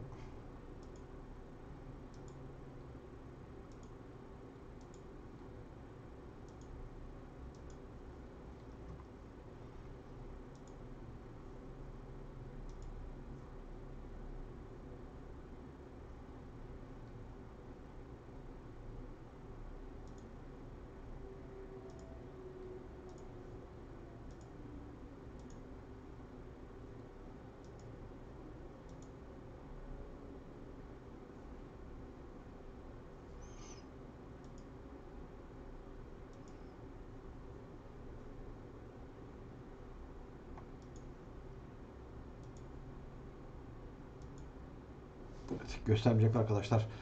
Şimdilik şuradan eee, devam edeyim. İşte canlı yayının eee, riskleri öyle söyleyeyim. Normalde işte eee şuradakine benzer şekilde eee bunu tıkladığımız zaman şu eee dokümantasyonu vermesi lazımdı arkadaşlar. Arkasından da işte e, text 7 deyip buradan işlemleri yapacaktım. Bu eee, ne güzel burada çalıştı fakat Belki de belli bir hacmi aştı veya da bir çalışma saatini aşmış da olabiliriz arkadaşlar. Şimdi e, kitabı e, indirdikten sonra Sent 7 dediğimde 7 numaralı e, tekstle ilgili e, dokümantasyona eriştim arkadaşlar. Şuraya geldik diyeyim. Ve de e, Sent 7'ye e, tıkladığımda normalde işte buna print komutuna gerek kalmaksızın e, şu e, içeriğine e, bize verecek sevgili arkadaşlar. Şunlar. Şunlar. Ben e, bunun üzerinde bu sefer e, şu komutu icra edeceğim. Bunu biraz e, büyütebilir miyiz acaba diye bakıyorum.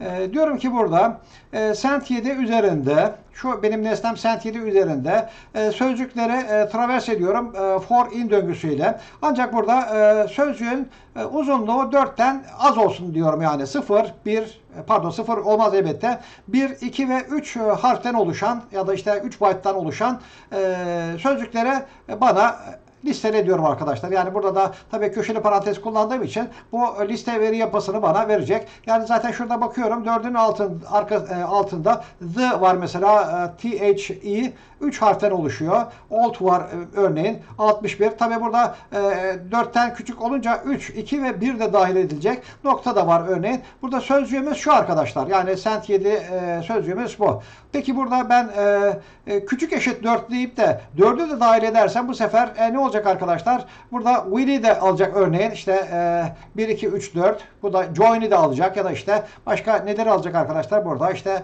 e, November'ın şunu alacak. Çünkü no bir de nokta var. Bu da 4 e, karaktere karşılık geliyor. Yani şuradaki e, formül bize e, söz konusu nesnenin üzerinde sorgulama yaparken e, e, karşılaştırma e, kriterimizin ne olacağına göre ister şöyle e, singular isterse e, kombine de olabilirdi örneğin arkadaşlar. İşte yani 4 ile 6 e, harf arasında olan sözcükleri de listele şeklinde olabilirdi arkadaşlar burada. Mesela e, kesinlikle tam 4 harften oluşanları listele dediğinde de burada yine e, W for e, W in e, daha sonra şuradaki nesneyi belirtip e, burada da if dedikten sonra bakın e, sentaks gereği e, Python'da herhangi bir şekilde virgül yok arkadaşlar. Bakın şurada e, Python'ın sadeliğini de şurada görürsünüz. Aslında şöyle e, tek bir satırdaki komut bana neyi elde ediyor? Sen bir liste veri yapısı hazırlayacaksın diyorum şurada e, compiler e, e, direktif olaraktan ve de o liste yapısı içerisinde sen sözcükleri e, alıp e, bunu öge olaraktan elde edeceksin diyorum. Burada da e, bunu sentin içerisinde, sent 7'nin içerisinde şuradaki e, doküman e, verinin içerisinde kriterin şu olacak. işte e, sözcük uzunluğu 4 olanı alıp getireceksin diyorum. Dolayısıyla will, join ya da işte November'ın işte no dot e, şeklinde 4 e, harften oluşan veya da 4 tane e, byte'ten oluşan e, listeyi bana hazırlayıp getirmiş oluyor arkadaşlar. Peki burada e, 4 taneden derken 4 olmayanları da getir diyebilirim arkadaşlar. Yani length if length of w e, is not equal to 4 diyor mesela burada 4'e eşit olmayan. Yani kesinlikle 4'ü e, altındakileri ve 4'ün üstündekileri alacak. Yani 5'i aldı mesela. Years aldı arkadaşlar. 3'ü aldı old mesela. Burada da yani e, burada 4'ü kafaya takmış olabiliriz mesela 4 olmasın diyerekten. Burada da e, bu e, olmayanı e, filtre etmemizin imkanı var arkadaşlar. Burada şimdi e, hemen kullanılabilecek e, operatörler var arkadaşlar ya da metotları burada anlatacağız. E, İşte buradaki e, S benim e, eğer e, nesnemse o nesne üzerinde işte starts with e, deyip işte T ile başlayanları ben e, sorgulatabilirim arkadaşlar. Burada T sembolik işte W ile başlatan veyahut da işte e, e, işte E ile başlayan ya da işte Z ile başlayan e, diyerekten sorgulatabilirim. Bunları da test edecek elbette var mı yok mu diyerekten veyahut da işte T ile bitenlere mesela e, burada sorgulatabilirim arkadaşlar. Yani ne yapıyorum? O nesneyi alıyorum. Üzerinde işlem yapacağım e, string'i alıyorum. Veyahut da o veri yapısını alıyorum. Onun üzerinde işte and, and, Smith, and with diyorum. Yani e, şununla biten diyorum. E, veyahut da işte T in S. Burada da boolean olaraktan bir e, ifade alabilirim arkadaşlar. S'in içerisinde T var mı? Bunun da neticesi true ya da false şeklinde olacaktır.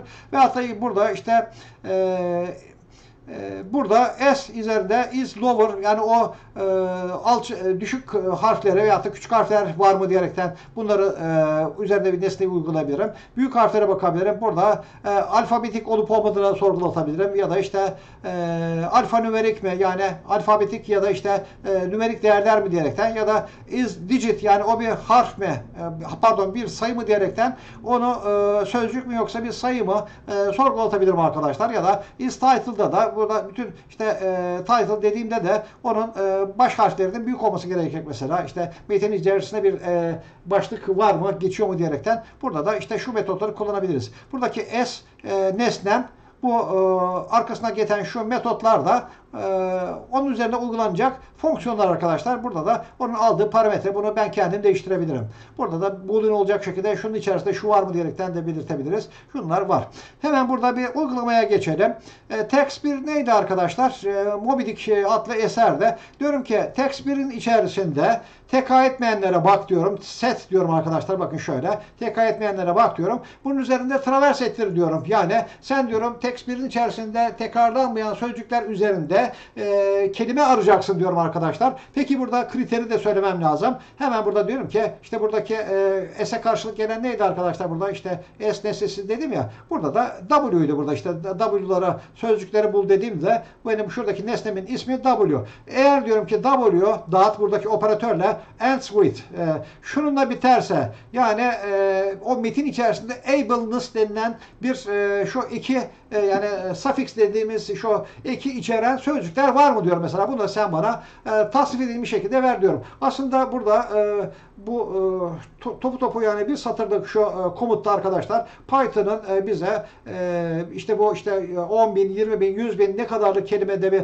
e, text ise işte şu e, text bir onun içerisinde hem şu e, kriteri e, sağlayanları buluyor arkadaşlar. Yani sonra ableness olanları buluyor ve de bunları e, e, set haline getirip ve de bunları tasnif ediyor arkadaşlar. Yani sıraya sokuyor, alfabetik sıraya sokuyor. Şu elde edilmiş oluyor. Elbette şu e, dat dat dat bunun e, ögelerin birden fazla olduğunu gösteriyor arkadaşlar. Dolayısıyla ben burada herhangi bir metin üzerinde işte e, şunun e, üzerinde gezinme yaptırıp yani travers ettirip bunun içerisinde o sözcüğün e, işte şununla bittiğini bulundurabilirim arkadaşlar. Mesela diyorum ki burada yine e, text 4 üzerinde text 4 neydi? E, galiba burada işte şeyler vardı arkadaşlar. Bu e, Amerikan başkanlarının balkon konuşmalarıydı bu. Bunun üzerine diyorum ki e, onu e, tekrar etmez hale getir diyorum. Set haline getir diyorum yani.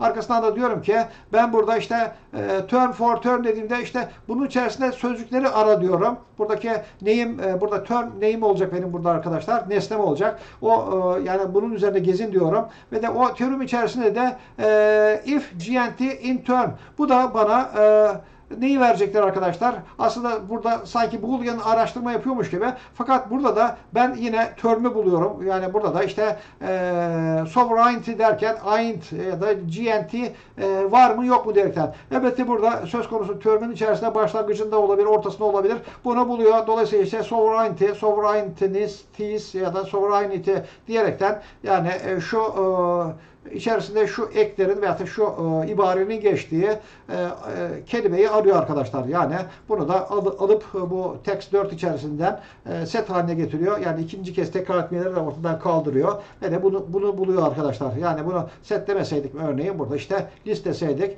e, ne yapacaktı? İşte birkaç sefer geçiyorsa işte bu e, sovereignty sözcüğü şu içerisinde e, şunun iç, içerdiği bunları da verecekti arkadaşlar. Tabi burada şimdi e, e, for in'e e, in e, if in'e örnekti buradaki arkadaşlar. Yani şuradaki metoda e, şurada acaba şunun içerisinde var mı ya örnekte. E, burada bir sürü metot var. Bu metotlara ait mesela şurada kullanıyoruz. E, diyorum ki burada e, diyorum ki e, sen işte text 6'yı al. Text 6 e, bu e, chat ile ilgili e, korpuslu arkadaşlar chatle ilgili bu verilerde burada işte e, insanlar saçmalamış ah ah diyerekten. İşte diyorum ki e, bunu e, birer kez tekrarlanmış haline getir diyorum set ile text 6'yı al. Ve de burada for in döngüsünü çalıştır diyorum. For in döngüsünde de e, benim sayacım Counter'ım ne olsun? Item olsun arkadaşlar. Item'i de al diyorum burada. Item nesnem benim. Item buradaki W'ye benziyor arkadaşlar. Veyahut da S'e benziyor şurada. Ee, her seferinde farklı farklı yapmış ki burada artık e, göz alışkanlığıyla e, bu komutları e, biz e, translate edebiliriz arkadaşlar. Yani tercüme edebiliriz bu şekilde. Ve de diyorum ki item eğer is title eğer o bir başlıksa. Tabi başlıklarda kriter neydi? Büyük harflerle başlayacaktı arkadaşlar. Hemen buna buldu. İşte bunları sanki başlıkmış gibi aldı arkadaşlar. Bu chat'teki geçen işte e, anlamlı ya da anlamsız e, ögeler arkadaşlar. Yani buradaki itemler bunlar arkadaşlar. Peki ben e, bir metin içerisinde e, sözcüklerin yanı sıra harfleri de sorgulatabilirim arkadaşlar. Bunu da is digit diyerekten o nesne üzerinde yani item nesnesi üzerinde is digit metodunu uygulayabilirim. Gene neyi kullandım bu sefer de? Sent 7'yi kullandım. Burada da e, Amerikan borsası ile ilgili bir verilerdi bu galiba arkadaşlar. E, e, burada da işte e, yine e, bakarsak onu set haline getirdik. Sent 7'nin içeriğine. Ondan sonra for item in döngüsüne, for in döngüsünü uyguladık burada. Peki döngü uygularken sayacımız nedir? E, Veyahut da burada işte değişen öge nedir? İterasyona maruz kalacak olan öde nedir? A, öge nedir? Item'dir. Item'i de aldım ben o nesneye. Bu nesne üzerinde e, sen bir sorgulama yap. Acaba bu bir rakam mı değil mi diyerekten yapıyorum. İşte burada konuşma e, bu e, içerik konteks içerisinde de 29'u ve 61'e burada digit olaraktan yakaladı buldu getirdi arkadaşlar. Burada da e, siz de şunları deneyebilirsiniz diyor. Mesela ne yapmış? E, text 7 içerisinde diyor ki e, e, bu sözcüğün burada bakın set haline getiriyor. Yani bir kez tekrar edilmiş hale getiriyor. Ve W benim burada sorgulama nesnem W. W'nun diyor e, for, if bu W'nun içerisinde bir dash var mı diyor. Yani o sözcüğü bir e, şöyle bir tire içeriyor mu diyor. Burada yine mantıksal olaraktan V kullanılmış. Hem tire içerecek bir de indeks içerecek arkadaşlar. Burada da e, W'nun içerisinde indeks var mı? Dolayısıyla e, şu kritere ya da buradaki kombine kritere uyan e, çıktıları, elde ettiği o outcome dediği çıktıları tasnif edilmiş halde yazdıracak arkadaşlar. Burada ben e, bunu daha da zenginleştirebilirim, daha sofistike hale getirebilirim arkadaşlar. Aslında bunlar e, alıştırma kısmı. Yani bu kitapta e, sizlerin de hani işte şunu kullanarsan siz de alıştırma yapın diyor. Çıktığı kendinizde görün diyor arkadaşlar. Burada da şimdi e, diyorum ki e, yine bu test 3'ün içerisinde e, sen bunu set haline getir. Daha sonra burada işte e, Word WD diyerekten bir e, sayaç oluştur diyorum. WD'yi benim nesnem olacak. WD üzerinde bu nesnenin üzerinde is title o bir başlık mıdır diyerekten metot uygula diyorum. Bir de üstelik de WD ondan uzun olsun istiyorum arkadaşlar. Yani burada birden fazla şöyle kombine bir lojik e, ile ben bir e, sorgulatma yapabilirim arkadaşlar. Bunların hepsi bakın tek bir e, satır içerisinde yaptıktan sonra elde ettiği nesneyi de ne yapıyor? Sorted metoduyla tasnif edilmiş yani sıraya sokulmuş, alfabetik sıraya sokulmuş hale getiriyor arkadaşlar. Aynı şekilde yine bu test 3 ile testle ilgili olarak Sentiye'de e, çıktısı bir alıntısı var arkadaşlar. Extract'i var. Bu extract üzerinde ben diyorum ki yine W'yu bunun üzerinde gezindir diyorum. For in e, döngüsü içerisinde. Ve de işte bu W e, not ile bu sefer de e, alt e, küçük harf olmayanları diyerekten arkadaşlar burada şunun olmadığını varsayın e, lütfen. Burada ne olacaktır? Şu nesne üzerinde word nesnesi üzerinde is lower. O küçük harf mi diyerekten. Tabi bu not bunu olumsuz yapacağı için küçük harf olmayanları yani büyük harf olanları burada e, ne yapacaktır? E, tasnif edecektir arkadaşlar. Peki burada e, bir tane daha metinimiz var. Bu da işte e, Jane Austen'in kitabıydı.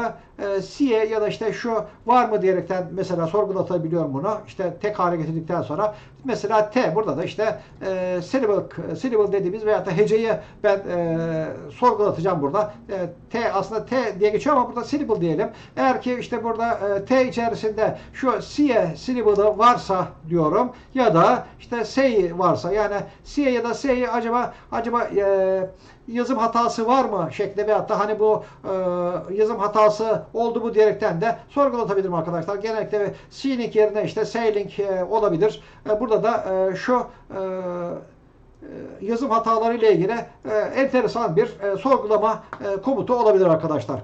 Peki burada e, her bir öge üzerinde ben e, işlemler yapabilirim. Bunun için de e, hemen e, diyorum ki işte Text 1'i hatırlıyorsunuz Marvel'la ilgili e, o romanı. Burada diyorum ki burada for W in Text 1 diyorum. Yani Text 1 e,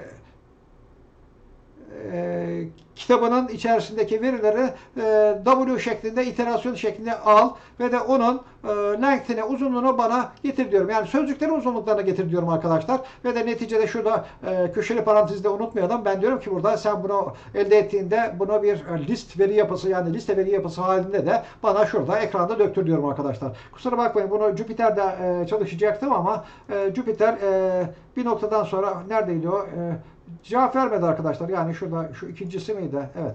Hala bakın çalıştırdım. Yok. Böyle mahcup ediyor yayın sırasında arkadaşlar.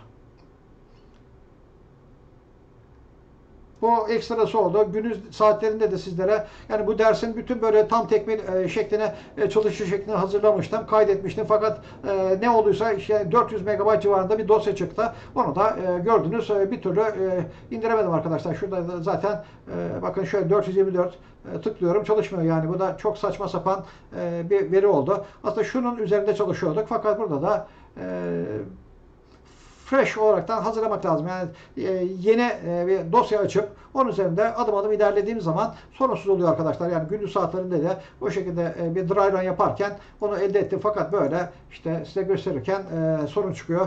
Onun için dersi buradan anlatmak durumunda kaldım arkadaşlar. Yani e, e, hiçbir şey engel olmaz bize anlatmaya diyorum. Burada da şimdi e, Moby Dick eserinde e, kelime uzunluklarını bana buldu getirdi arkadaşlar. Tabi ilk cümleden itibaren şunları şöyle e, ilk cümle bir harften oluşuyor tabi. ilk kelime pardon ve şöyle liste halinde verdi arkadaşlar. Peki burada ben e, yine text bir bu Moby Dick adlı eserin üzerinde sözcüklerin e, üzerinde for in döngüsünü çalıştırıyorum arkadaşlar. Şöyle bakın.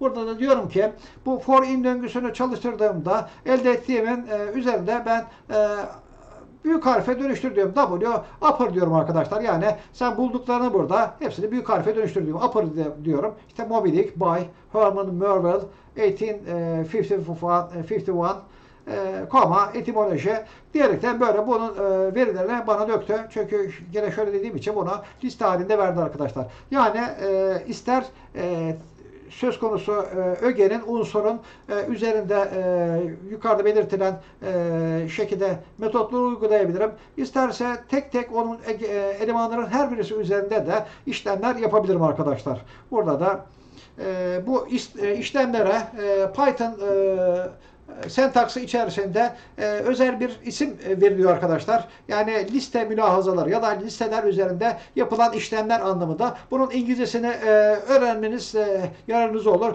List comprehension yani bir yerde list comprehension diyerekten bir etiket gördüğünüzde arkadaşlar bilin ki orada size Python'ın listeleme, set ya da işte tuple e, ya da işte dictionary veri yapıları ile ilgili bütün o, o işlemlere e, ekstra işlemleri size e, anlatacak arkadaşlar. Yani list comprehension denildiğinde e, her türlü işte bu akıllı indeksleme de dahil e, o işlemleri sizlere e, sunacak, anlatacak arkadaşlar. Mesela burada e, en basit işte list comprehension'lara ait e, örnekler işte mesela işte text 1 diyerekten ben bir e, e, veri e, nesnem varsa ben bu e, nesnemin üzerinde length denilen yani bunun e, uzunluğunu ya da işte bu array'in uzunluğunu bul diyerekten bir metot uygulayabilirim. Burada mesela list comprehension'a e, benzer şekilde 260 bin e, sözcük bulmuş mesela burada arkadaşlar.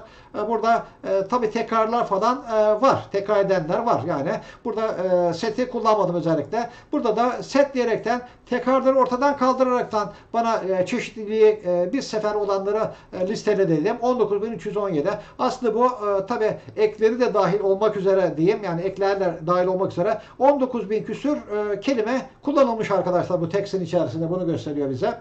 Hemen diyorum ki burada e, sen işte bu text 1 üzerinde e, for in döngüsünü icra et diyorum arkadaşlar. For in döngüsünü icra et diyorum. Ve de buradaki e, sayacım, e, travers ettiğim sayacım, ögem Word olsun. Bu Word'ü ben elde ettikten sonra bu Word üzerinde lower diyorum. Bunu e, alçak e, küçük harflere dönüştür diyorum. Onu tek e, satır tek e, hale getir diyorum. Daha doğrusu hani büyüklük küçüklüklerine kaldırıp onu e, küçük harflere dönüştürdükten sonra onu tekli hale getir diyorum. Bu sefer bak diyorum. Demek ki şuradan şu farktan şunu görebiliriz. Aslında kimi sözcükler e, büyük harf küçük harf olaraktan e, e, ayrılmış arkadaşlar. Dolayısıyla bunları da e, o farkı gözetmeksizin e, hepsini küçük harfe dönüştürüp tekrarları ortadan kaldır dediğimde 17.231'e indirmiş oluyoruz arkadaşlar. Aslında tabi e, kelime hazinesi derken bu e, text birin içerisinde bir şekilde işte büyük harf ya da küçük harf olduğunda bunları ayrı bir e, e, sözcük olaraktan alıyor. E, dolayısıyla işte bir e, kelimeyi e, cümle başında kullanırken e, büyük harf olacağı için e, sanki farklı bir e, kelime kullanıyormuş gibi de e, e, yazar lehine e, işte şu kadar e, farklı e, kelime kullandığı e, olarak da kullanılabilir. Fakat en e, adil e, e, sorgulamada şu şekilde elde edilecektir. Yani bu neyi bulduk arkadaşlar burada? İşte e, text 1 denilen şu e, string içerisinde e, işte büyük harf küçük harfi ayrımı olmaksızın ne kadar e, farklı e, kelime kullanıldığını gördük arkadaşlar. O da set ile e, ortaya çıktı. Epey bir zenginmiş arkadaşlar. Şimdi peki ben e, e, bir e, sözcüğün e, hem e, kelime hem de nümerik e, dijit e, içerip içermediğine bakabilirim. Burada da e, şöyle bir kombine bir e, logic uygulayacağım. E, bakın şurada e, for in text 1 diyorum. Şurada e, Kriterim şu, text 1 üzerinde sözcükleri travers ettireceğim. Ancak burada kriterim şu, e, bu sözcük yani word nesnem e, is alfa. Alfa nümerik mi değil mi? Yani e, bu harf de olabilir. Aslında bu işte e, ASCII kodda olabilir anlamında arkadaşlar.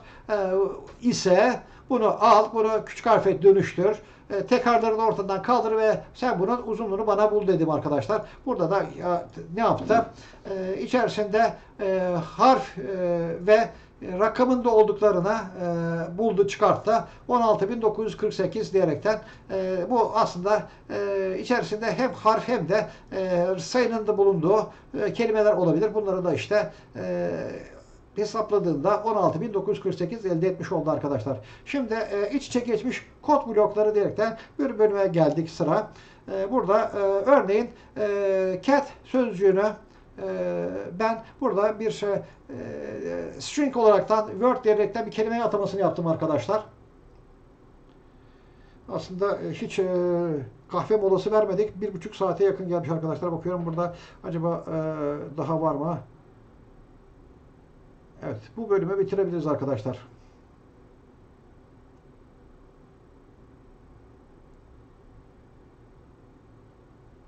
Evet.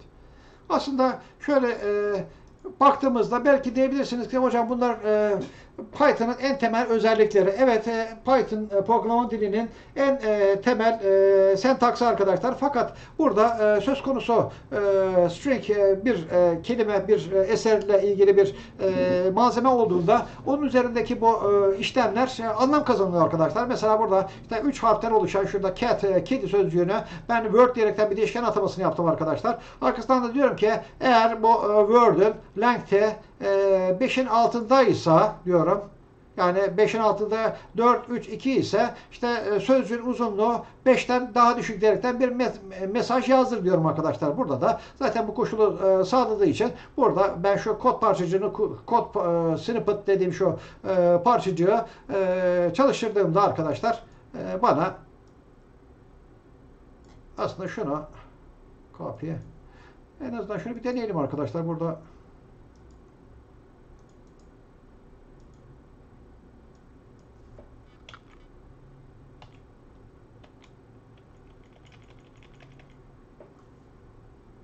Bunu hiç bunu da çalıştırmazsa e, demek ki bu kernel çalışmıyor diyeceğim arkadaşlar. Yani kernel dedi bunun işte interpreter'ı, yorumlayıcısı arkadaşlar.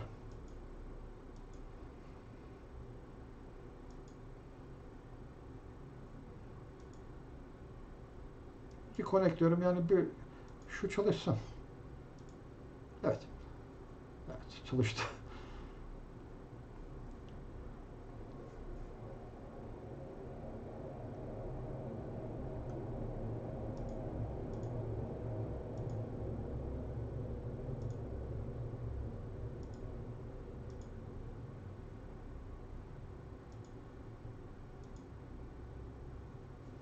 Dersin sonuna doğru geldik.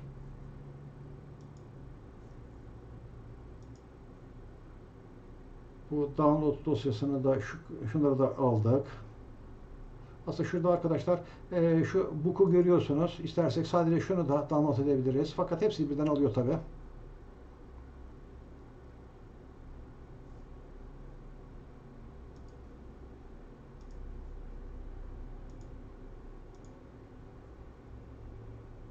Şu saatten sonra çalışıyorsa şaşarım.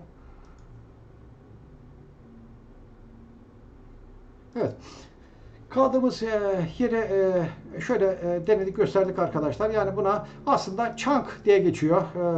E, e, R programlama dilinde de chunk diye geçiyor arkadaşlar. Burada da işte kod parçacığı snippet diyoruz. Aslında şu e, Jupyter Notebook'u en pratik kullanmak şekli işte kodu burada e, ödünç aldığımız kodu yazıyoruz ve de e, kodu çalıştırdığımız zaman bize çıktığı veriyor arkadaşlar. Burada gene arka planda çalışıyor herhalde. Ee, ya saat bakımından doldu. Bilmiyorum bir kısıtlama falan var mı arkadaşlar yani. Evet. Evet.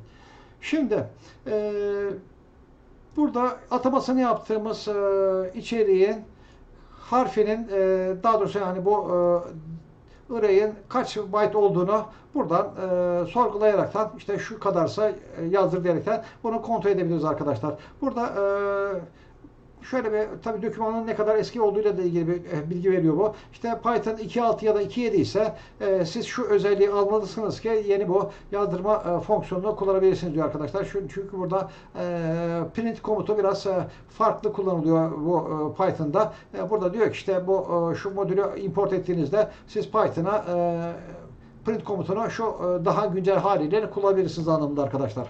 Şimdi çünkü burada e, ne diyor? Parantezle kullanmak lazım diyor. e, Parantezsiz kullanmak lazım diyor. E, tabii bu Python'da e, ilk başlangıçta bu sıkıntıları yaşayabiliyor insanlar. E, Python interpreter artık 2.6, 2.7 yok. Windows e, yeni versiyon e, Windows'lar hiçbir şekilde bunu desteklemiyor ama hadi eski versiyon e, makinesi yüklü olduğunu varsayarsak buradaki print komutu biraz farklı kullanılacaktır. Aynı şekilde ben e, burada e, bu Word sözcüğü e, 5'ten küçük arkadaşlar. Ama diyorum ki 5 ve 5'ten büyükse e, ise şunu yaz diyorum burada işte e, sözcüğün uzunluğu e, 5'ten büyük diyerekten yazdır diyorum. Tabii bu koşul hiçbir zaman geçerli olmuyor arkadaşlar. Çünkü 5'ten büyük değil bu e, şuradaki cat sözcüğü. 1, 2, 3 tane harften oluşuyor. Dolayısıyla şurada bunu çalıştırdığım zaman bu da e, bana e, sıfır çıktığı verecektir. Veyahut da işte null verecektir arkadaşlar. Böyle bir e, bu koşulu e, gerçekleştiren e, kriter yok anlamında arkadaşlar. Yani şurada da şu çıkıntıyı şuraya koyduğumda bakalım çalıştırırsam verecek mi? Heyhat yok. Bu e, Jüpiter'den e, ümidimizi keselim arkadaşlar. Dersi şuradan anlatmaya devam edelim. Yani e, şuradaki koşul eğer geçerli ise hemen altındaki sekme gerçekleştiriliyor.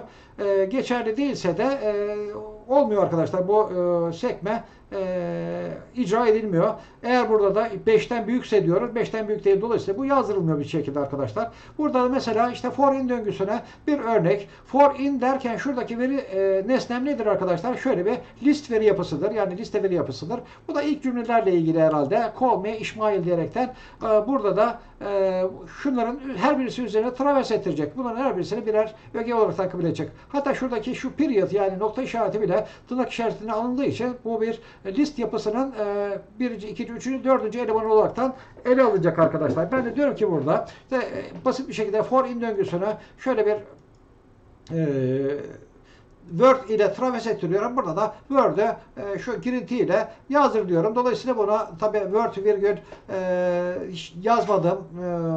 E, e, end e, eşittir boşluk diyerekten yazmadığım için bunu şöyle ayrı ayrı satırlara yazdı arkadaşlar. Eğer istersen bunu Word virgül işte end iki nokta üstte boşluk boşluk diyerekten verseydim bunu bana e, kelimeleri yazacaktı arkadaşlar. Tabi e, bunu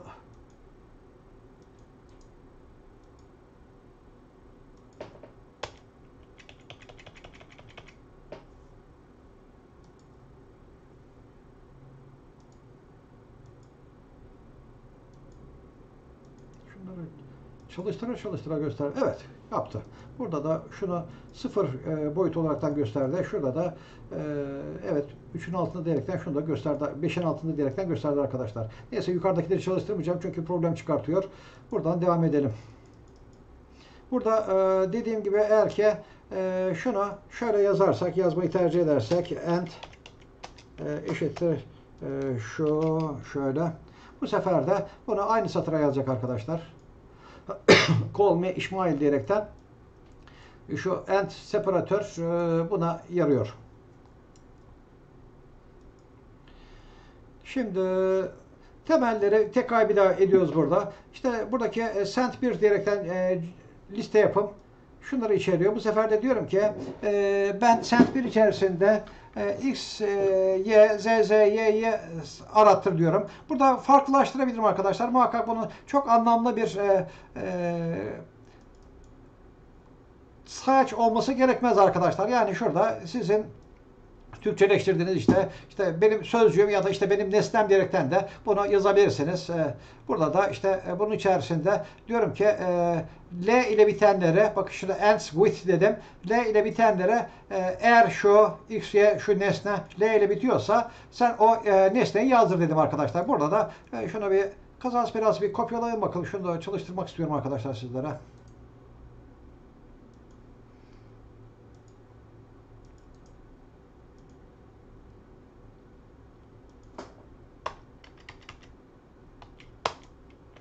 Bakın şurada e, for x, y, z, z, y diyerekten ben burada keyfi bir nesne aldım. Bunu e, send 1'in içerisinde e, for in döngüsüyle sen bunu taratır diyorum arkadaşlar. Dolayısıyla burada travers ettiği e, öge nedir? x, y, z, z.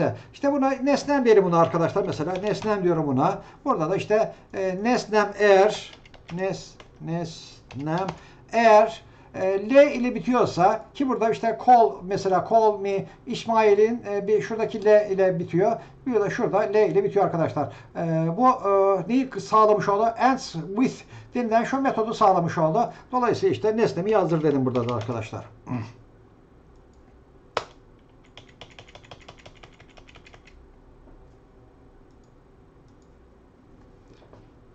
Kolu buldu. Bir de İsmail'in şu L'sini buldu arkadaşlar.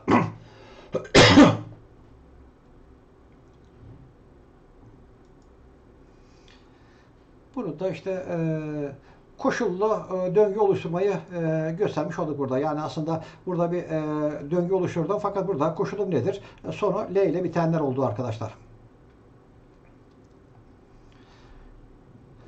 Burada tabi e, döngü oluştururken e, bu koşulu e, if koşulunu if ya da else if ya da else diyerekten e, şu yapıyı da kullanabilirim arkadaşlar.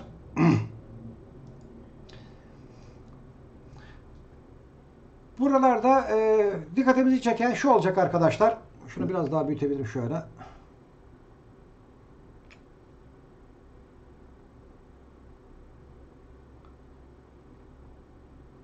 Evet. If, else if ya da else de e, ilk koşul arkadaşlar eğer geçerliyse hemen onun altındaki girintideki e, komut icra edilecek. Bu değilse eğer bu sefer ikinci bir koşul ortaya koyuyorum ben.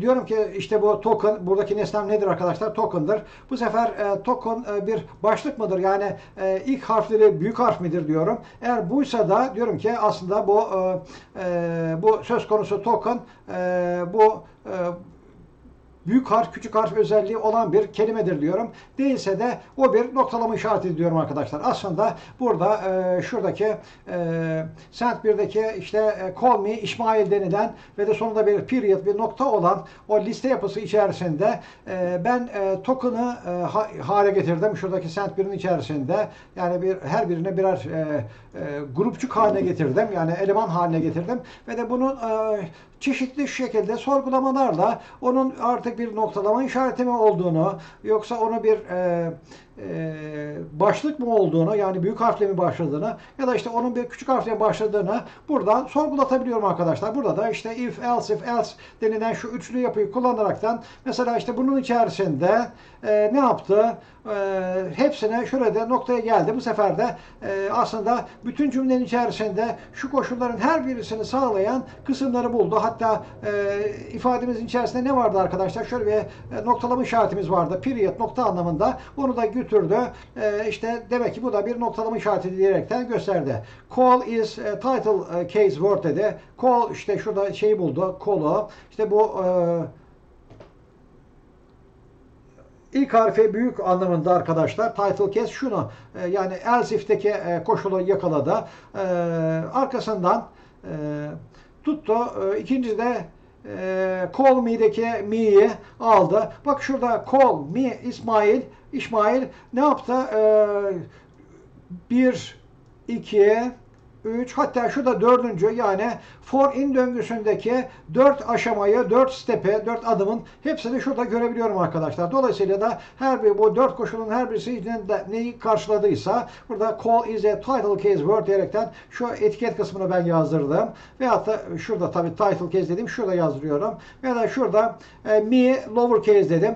Yine burada İsmail e, büyük harf I ile başladığı için arkadaşlar burada is title koşulunu ikinci bir kez sağlayan kelime var. O da İsmail. Bu da işte bu da e, büyük harfi etik e, başlık e, koşulunu sağlıyor dedi. En sonunda da zaten for in döngüsünün son e, ögesi nedir burada?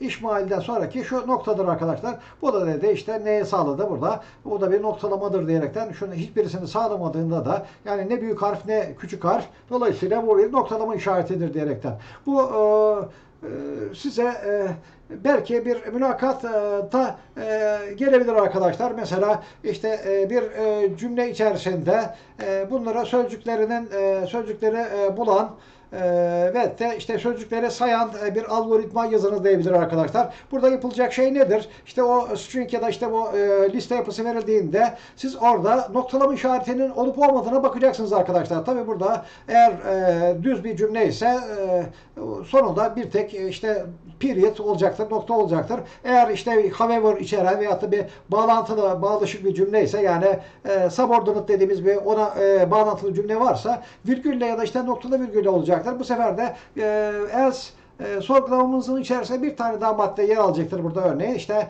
e, nokta virgülse ya da işte noktasa diyerekten. Dolayısıyla buna buluncaya kadar for in döngüsü içerisinde travers ettiğimizde neye yakalayacaktır? E, bunun içerisinde e, kaç tane kelime geçtiğini ya da işte cümlenin nerede bitip nerede bittiğini e, başlayıp nerede bittiğini bulacaktır. Hatta bunun e, indeksini de e, length'ini bulup da indekslemesini de yaptıktan sonra o noktalama işaretinin hangi e, token olduğunu da e, biz bulabiliriz arkadaşlar. Yani bu e, aklınızda bulunsun. E, çok basit aslında e, bir e, yapı.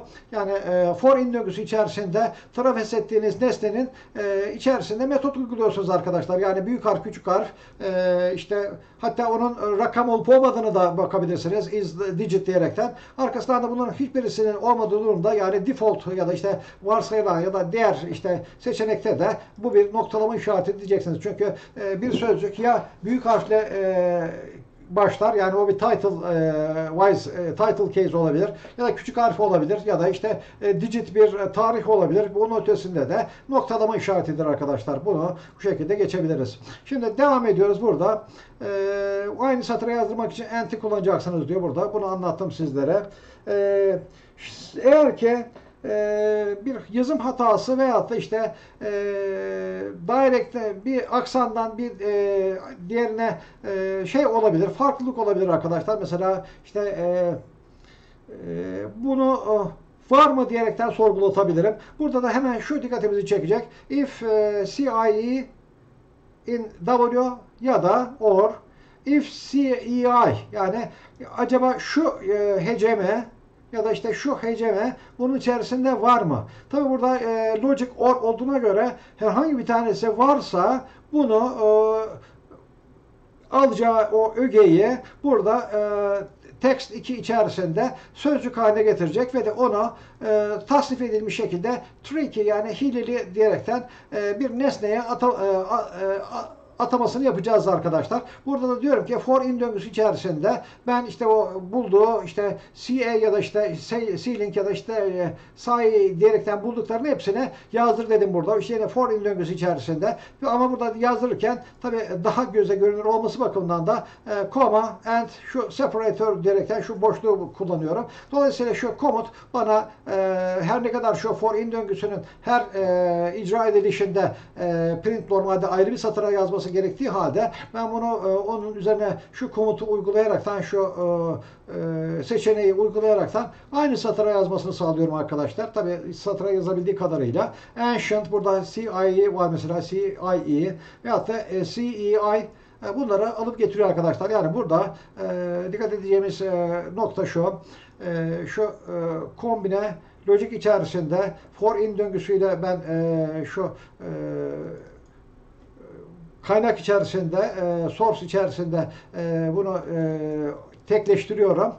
E, arkasından işte for in döngüsü içerisinde bu W'yu e, koşturuyorum bunun üzerinde ve de, diyorum ki işte bu W üzerinde C e, var mı ya da işte S'yi var mı diyorum ve de bunların el, elde ettiklerinin hepsini de sort dediğimde e, ben bunu e, bu tasvip edilmiş hale getiriyorum ama burada işlemlerim hala devam ediyor. Bu triki dediğim bu atamasını yaptığım değişkenin üzerinde de e, her bir sözcüğü yani bulduklarına işte şunu bulmuşsan şunu bulmuşsan bunları aynı satıra yazdır diyorum arkadaşlar. Şimdi e, bölüm 5. bölüme geldik. Burasına e, e, aslında az kaldı galiba değil mi?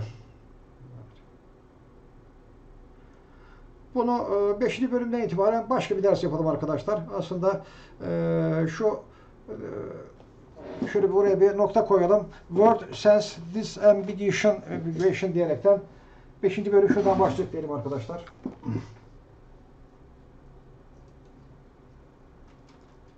Ders 3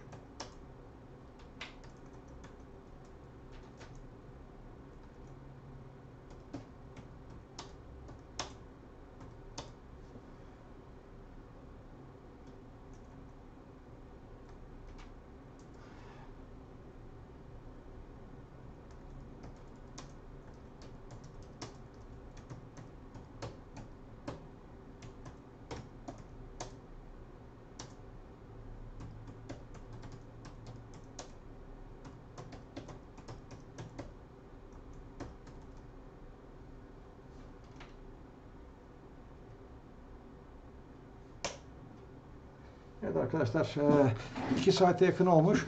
5 birden itibaren e, bu e, hatta 5 bir evet 5. bölümden itibaren bunu şuradan itibaren başlatacağız arkadaşlar 5. bölümden itibaren. Otomatik otomatik natural language understanding şu kısımdan itibaren başlayacak. Bu aşağıya kadar bunu e, Türkçeleştirerekten anlatacağım. Burada e, İngilizce e, cümle e, ifadeleri var. Buradan e, anlam çıkartma e, şeklinde olacak arkadaşlar. Burada mesela ilginizi çekmek bakımından şu şekilde. Mesela bir tekst var arkadaşlar. Hırsızlar e, yağlı boyaları e, çaldı.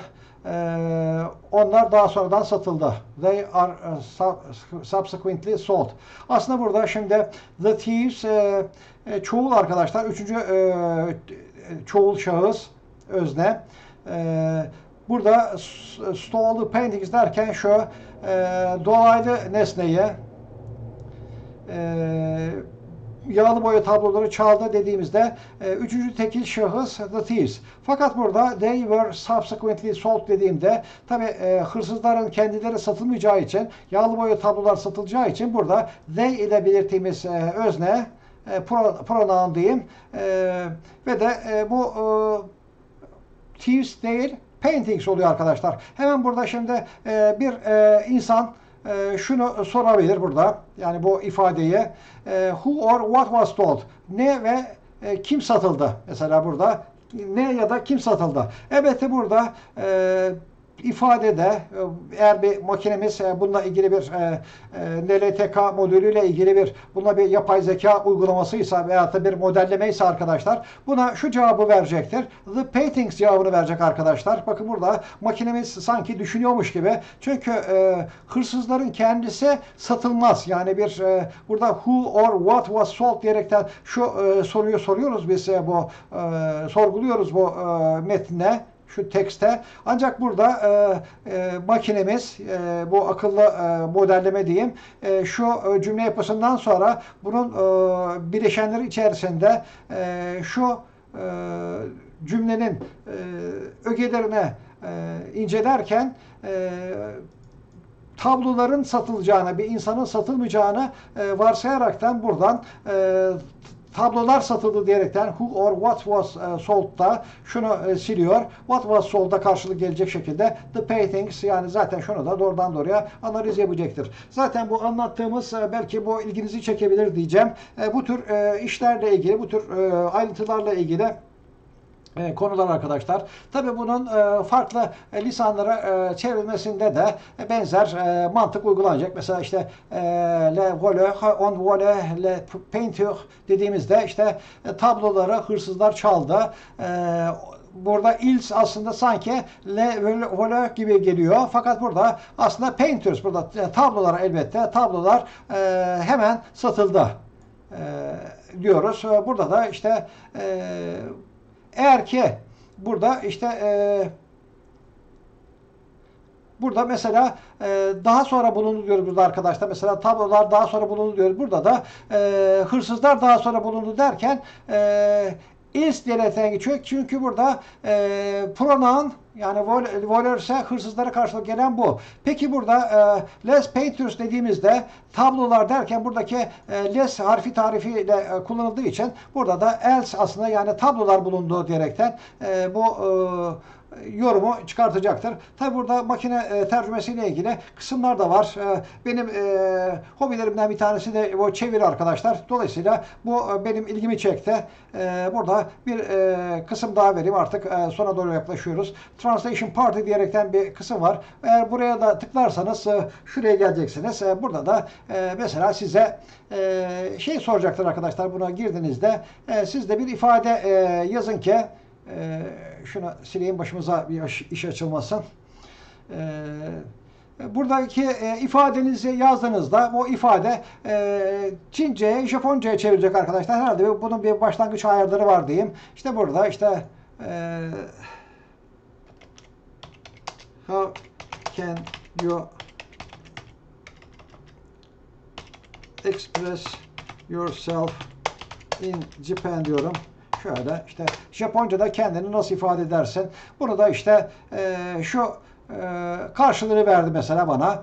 E, burada e, bunun e, tekrar e, İngilizceye çevrildiğinde How can you express yourself in Japan diyerek de aynısını verdi. Tekrar bunu verdiğinde e, dolayısıyla e, bu çevirinin yani benim buradaki e, İngilizce ifademin Japonca'ya çeviri ve Japoncadan tekrar e, İngilizce çevirisi karşısında aynı ifadeyi elde ettik. A- aslında burada tabii e, kullanılacak olan ifadeleri çeşitleştirerekten bunu verdiğinizde ben bunu e, bu site hoşuma gitti arkadaşlar. Bunun üzerinde de e, çalışma yaptığınızda e, her seferinde farklı farklı Japonca ifadeler e, karşılıklarını verdikten sonra birkaç adımdan sonra sizin aynı kullandığınız e, kelimeyi kullandırıyor. Dolayısıyla burada insanlar Tabii saçmalayanlar da var burada. E, çeşitli ifadeler yazdıktan sonra bu ifadenin e, acaba e, başka bir dile çevrilip de tekrar e, kendi ana diline çevrildikten sonra e, bir anlam e, farklılığı var mı? Yani e, cümleyi oluştururken bir e, saçmalık yaptım mı yapmadım mı diyerekten e, burada e, e, kıyaslama yapılabiliyor ve de size de çeşitli e, notlar veriyorlar arkadaşlar. Veyahut da burada insanların ifadelerini burada beğenebiliyorsunuz.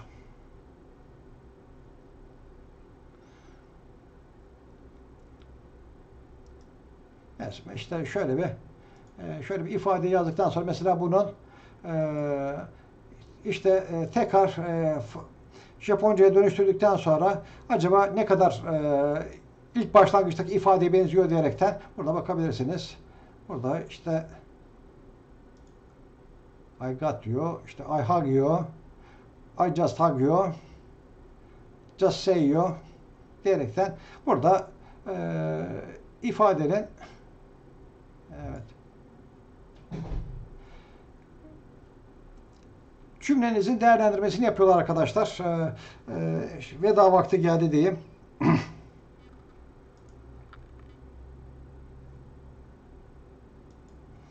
Lisan konusu benim özel ilgi alanıma giriyor arkadaşlar. Yani e, programlama e, dili de olabilir ya da işte yabancı dil de olabilir. Dolayısıyla bu e, NLTK denilen e, modül e, e, özellikle sizlere e, ayrıntıları anlatmak üzere çeşitli kaynaklardan e, materyaller buldum, konteks buldum ve bu konteksti de sizlere Türkçeleştirerekten anlatıyorum. Belki e, e, akıcılık e, içerisinde e, boşuna geçmiş zamanlar da oluyor arkadaşlar. Çünkü burada Jupyter e, Notebook kimi zaman çalışıyor, kimi zaman çalışmıyor. Yani gördünüz e, uzun bir işlem olduğunda e, ayılıp bayılıyor e, makinemin yüksek performanslı olmasına rağmen.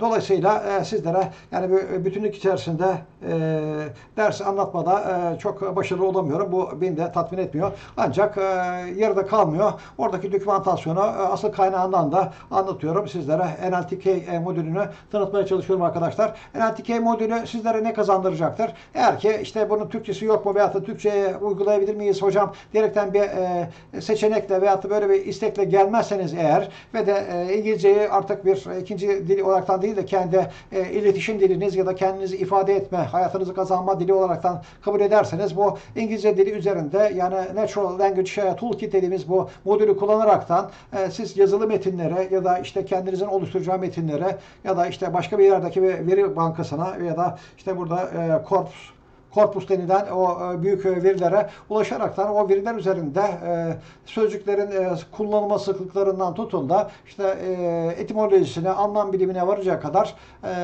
çözümleme yapabilirsiniz. Aslında bunları niçin kullanacaksınız arkadaşlar? Eğer robotics konusunda bir çalışmaları olan da varsa ister sözel olsun, ister yazılı metin olsun bu yazılı metnin incelenmesi ve o metin içerisinden anlamlı çıkarımlarda bulunulmasıyla ilgili algoritmaların ya da modellerin geliştirilmesinde siz e, bu NLTK modülünü kullanabilirsiniz arkadaşlar. Çok e, fazla metodu var, çok fazla algoritması var. Yani ilginizi çektiyse veyahut da sizi bu konuda e, teşvik edebilirsem e, ne mutlu bana diyorum. Bir sonraki derste görüşmek üzere. 5.1'den itibaren başlayacağız arkadaşlar.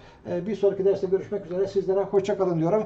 Dersler uzun sürüyor. E, e, 15 dakikalık, 20 dakikalık derslerle yetinmek istemiyorum. Yani başına itibaren en azından bir bölüm, bir chapter, bir iki chapter bitirmek istiyorum arkadaşlar. Onun için dersler biraz uzun sürüyor. E, müsait olduğunuz zaman da yani öğrenmeye, anlamaya istekli olduğunuz zamanda da tekrar tekrar bunu izleyebilirsiniz. İyi akşamlar, hoşçakalın diyorum. E, eğer ki e, dersleri de beğendiyseniz like atarsanız videolarımız e, search'te aramalarda üst sıralarda yer alacaktır arkadaşlar. Abone olan arkadaşlar da bildirimleri açarlarsa otomatikman ne zaman ki ben bir ders anlatmaya başladım siz de bundan otomatikman haberdar olacaksınız. İlginiz için teşekkür ederim. E, arkadaşlarınıza da eğer tavsiye ederseniz çok memnun olurum. Aslında parasal parasal bir kaygı e, içerisinde değilim. E, fakat ne kadar çok kişiye erişebilirsek bu Türkçe kaynaklara katkı adında e, bu mantalitede biraz anlam kazanacak arkadaşlar. İyi akşamlar, iyi geceler diyorum. Üniversite arkadaşlara da üstün başarılar diliyorum. E, sınavları varsa da e, sınavlarda da başarılar diliyorum arkadaşlar. Hoşçakalın. Bay bay.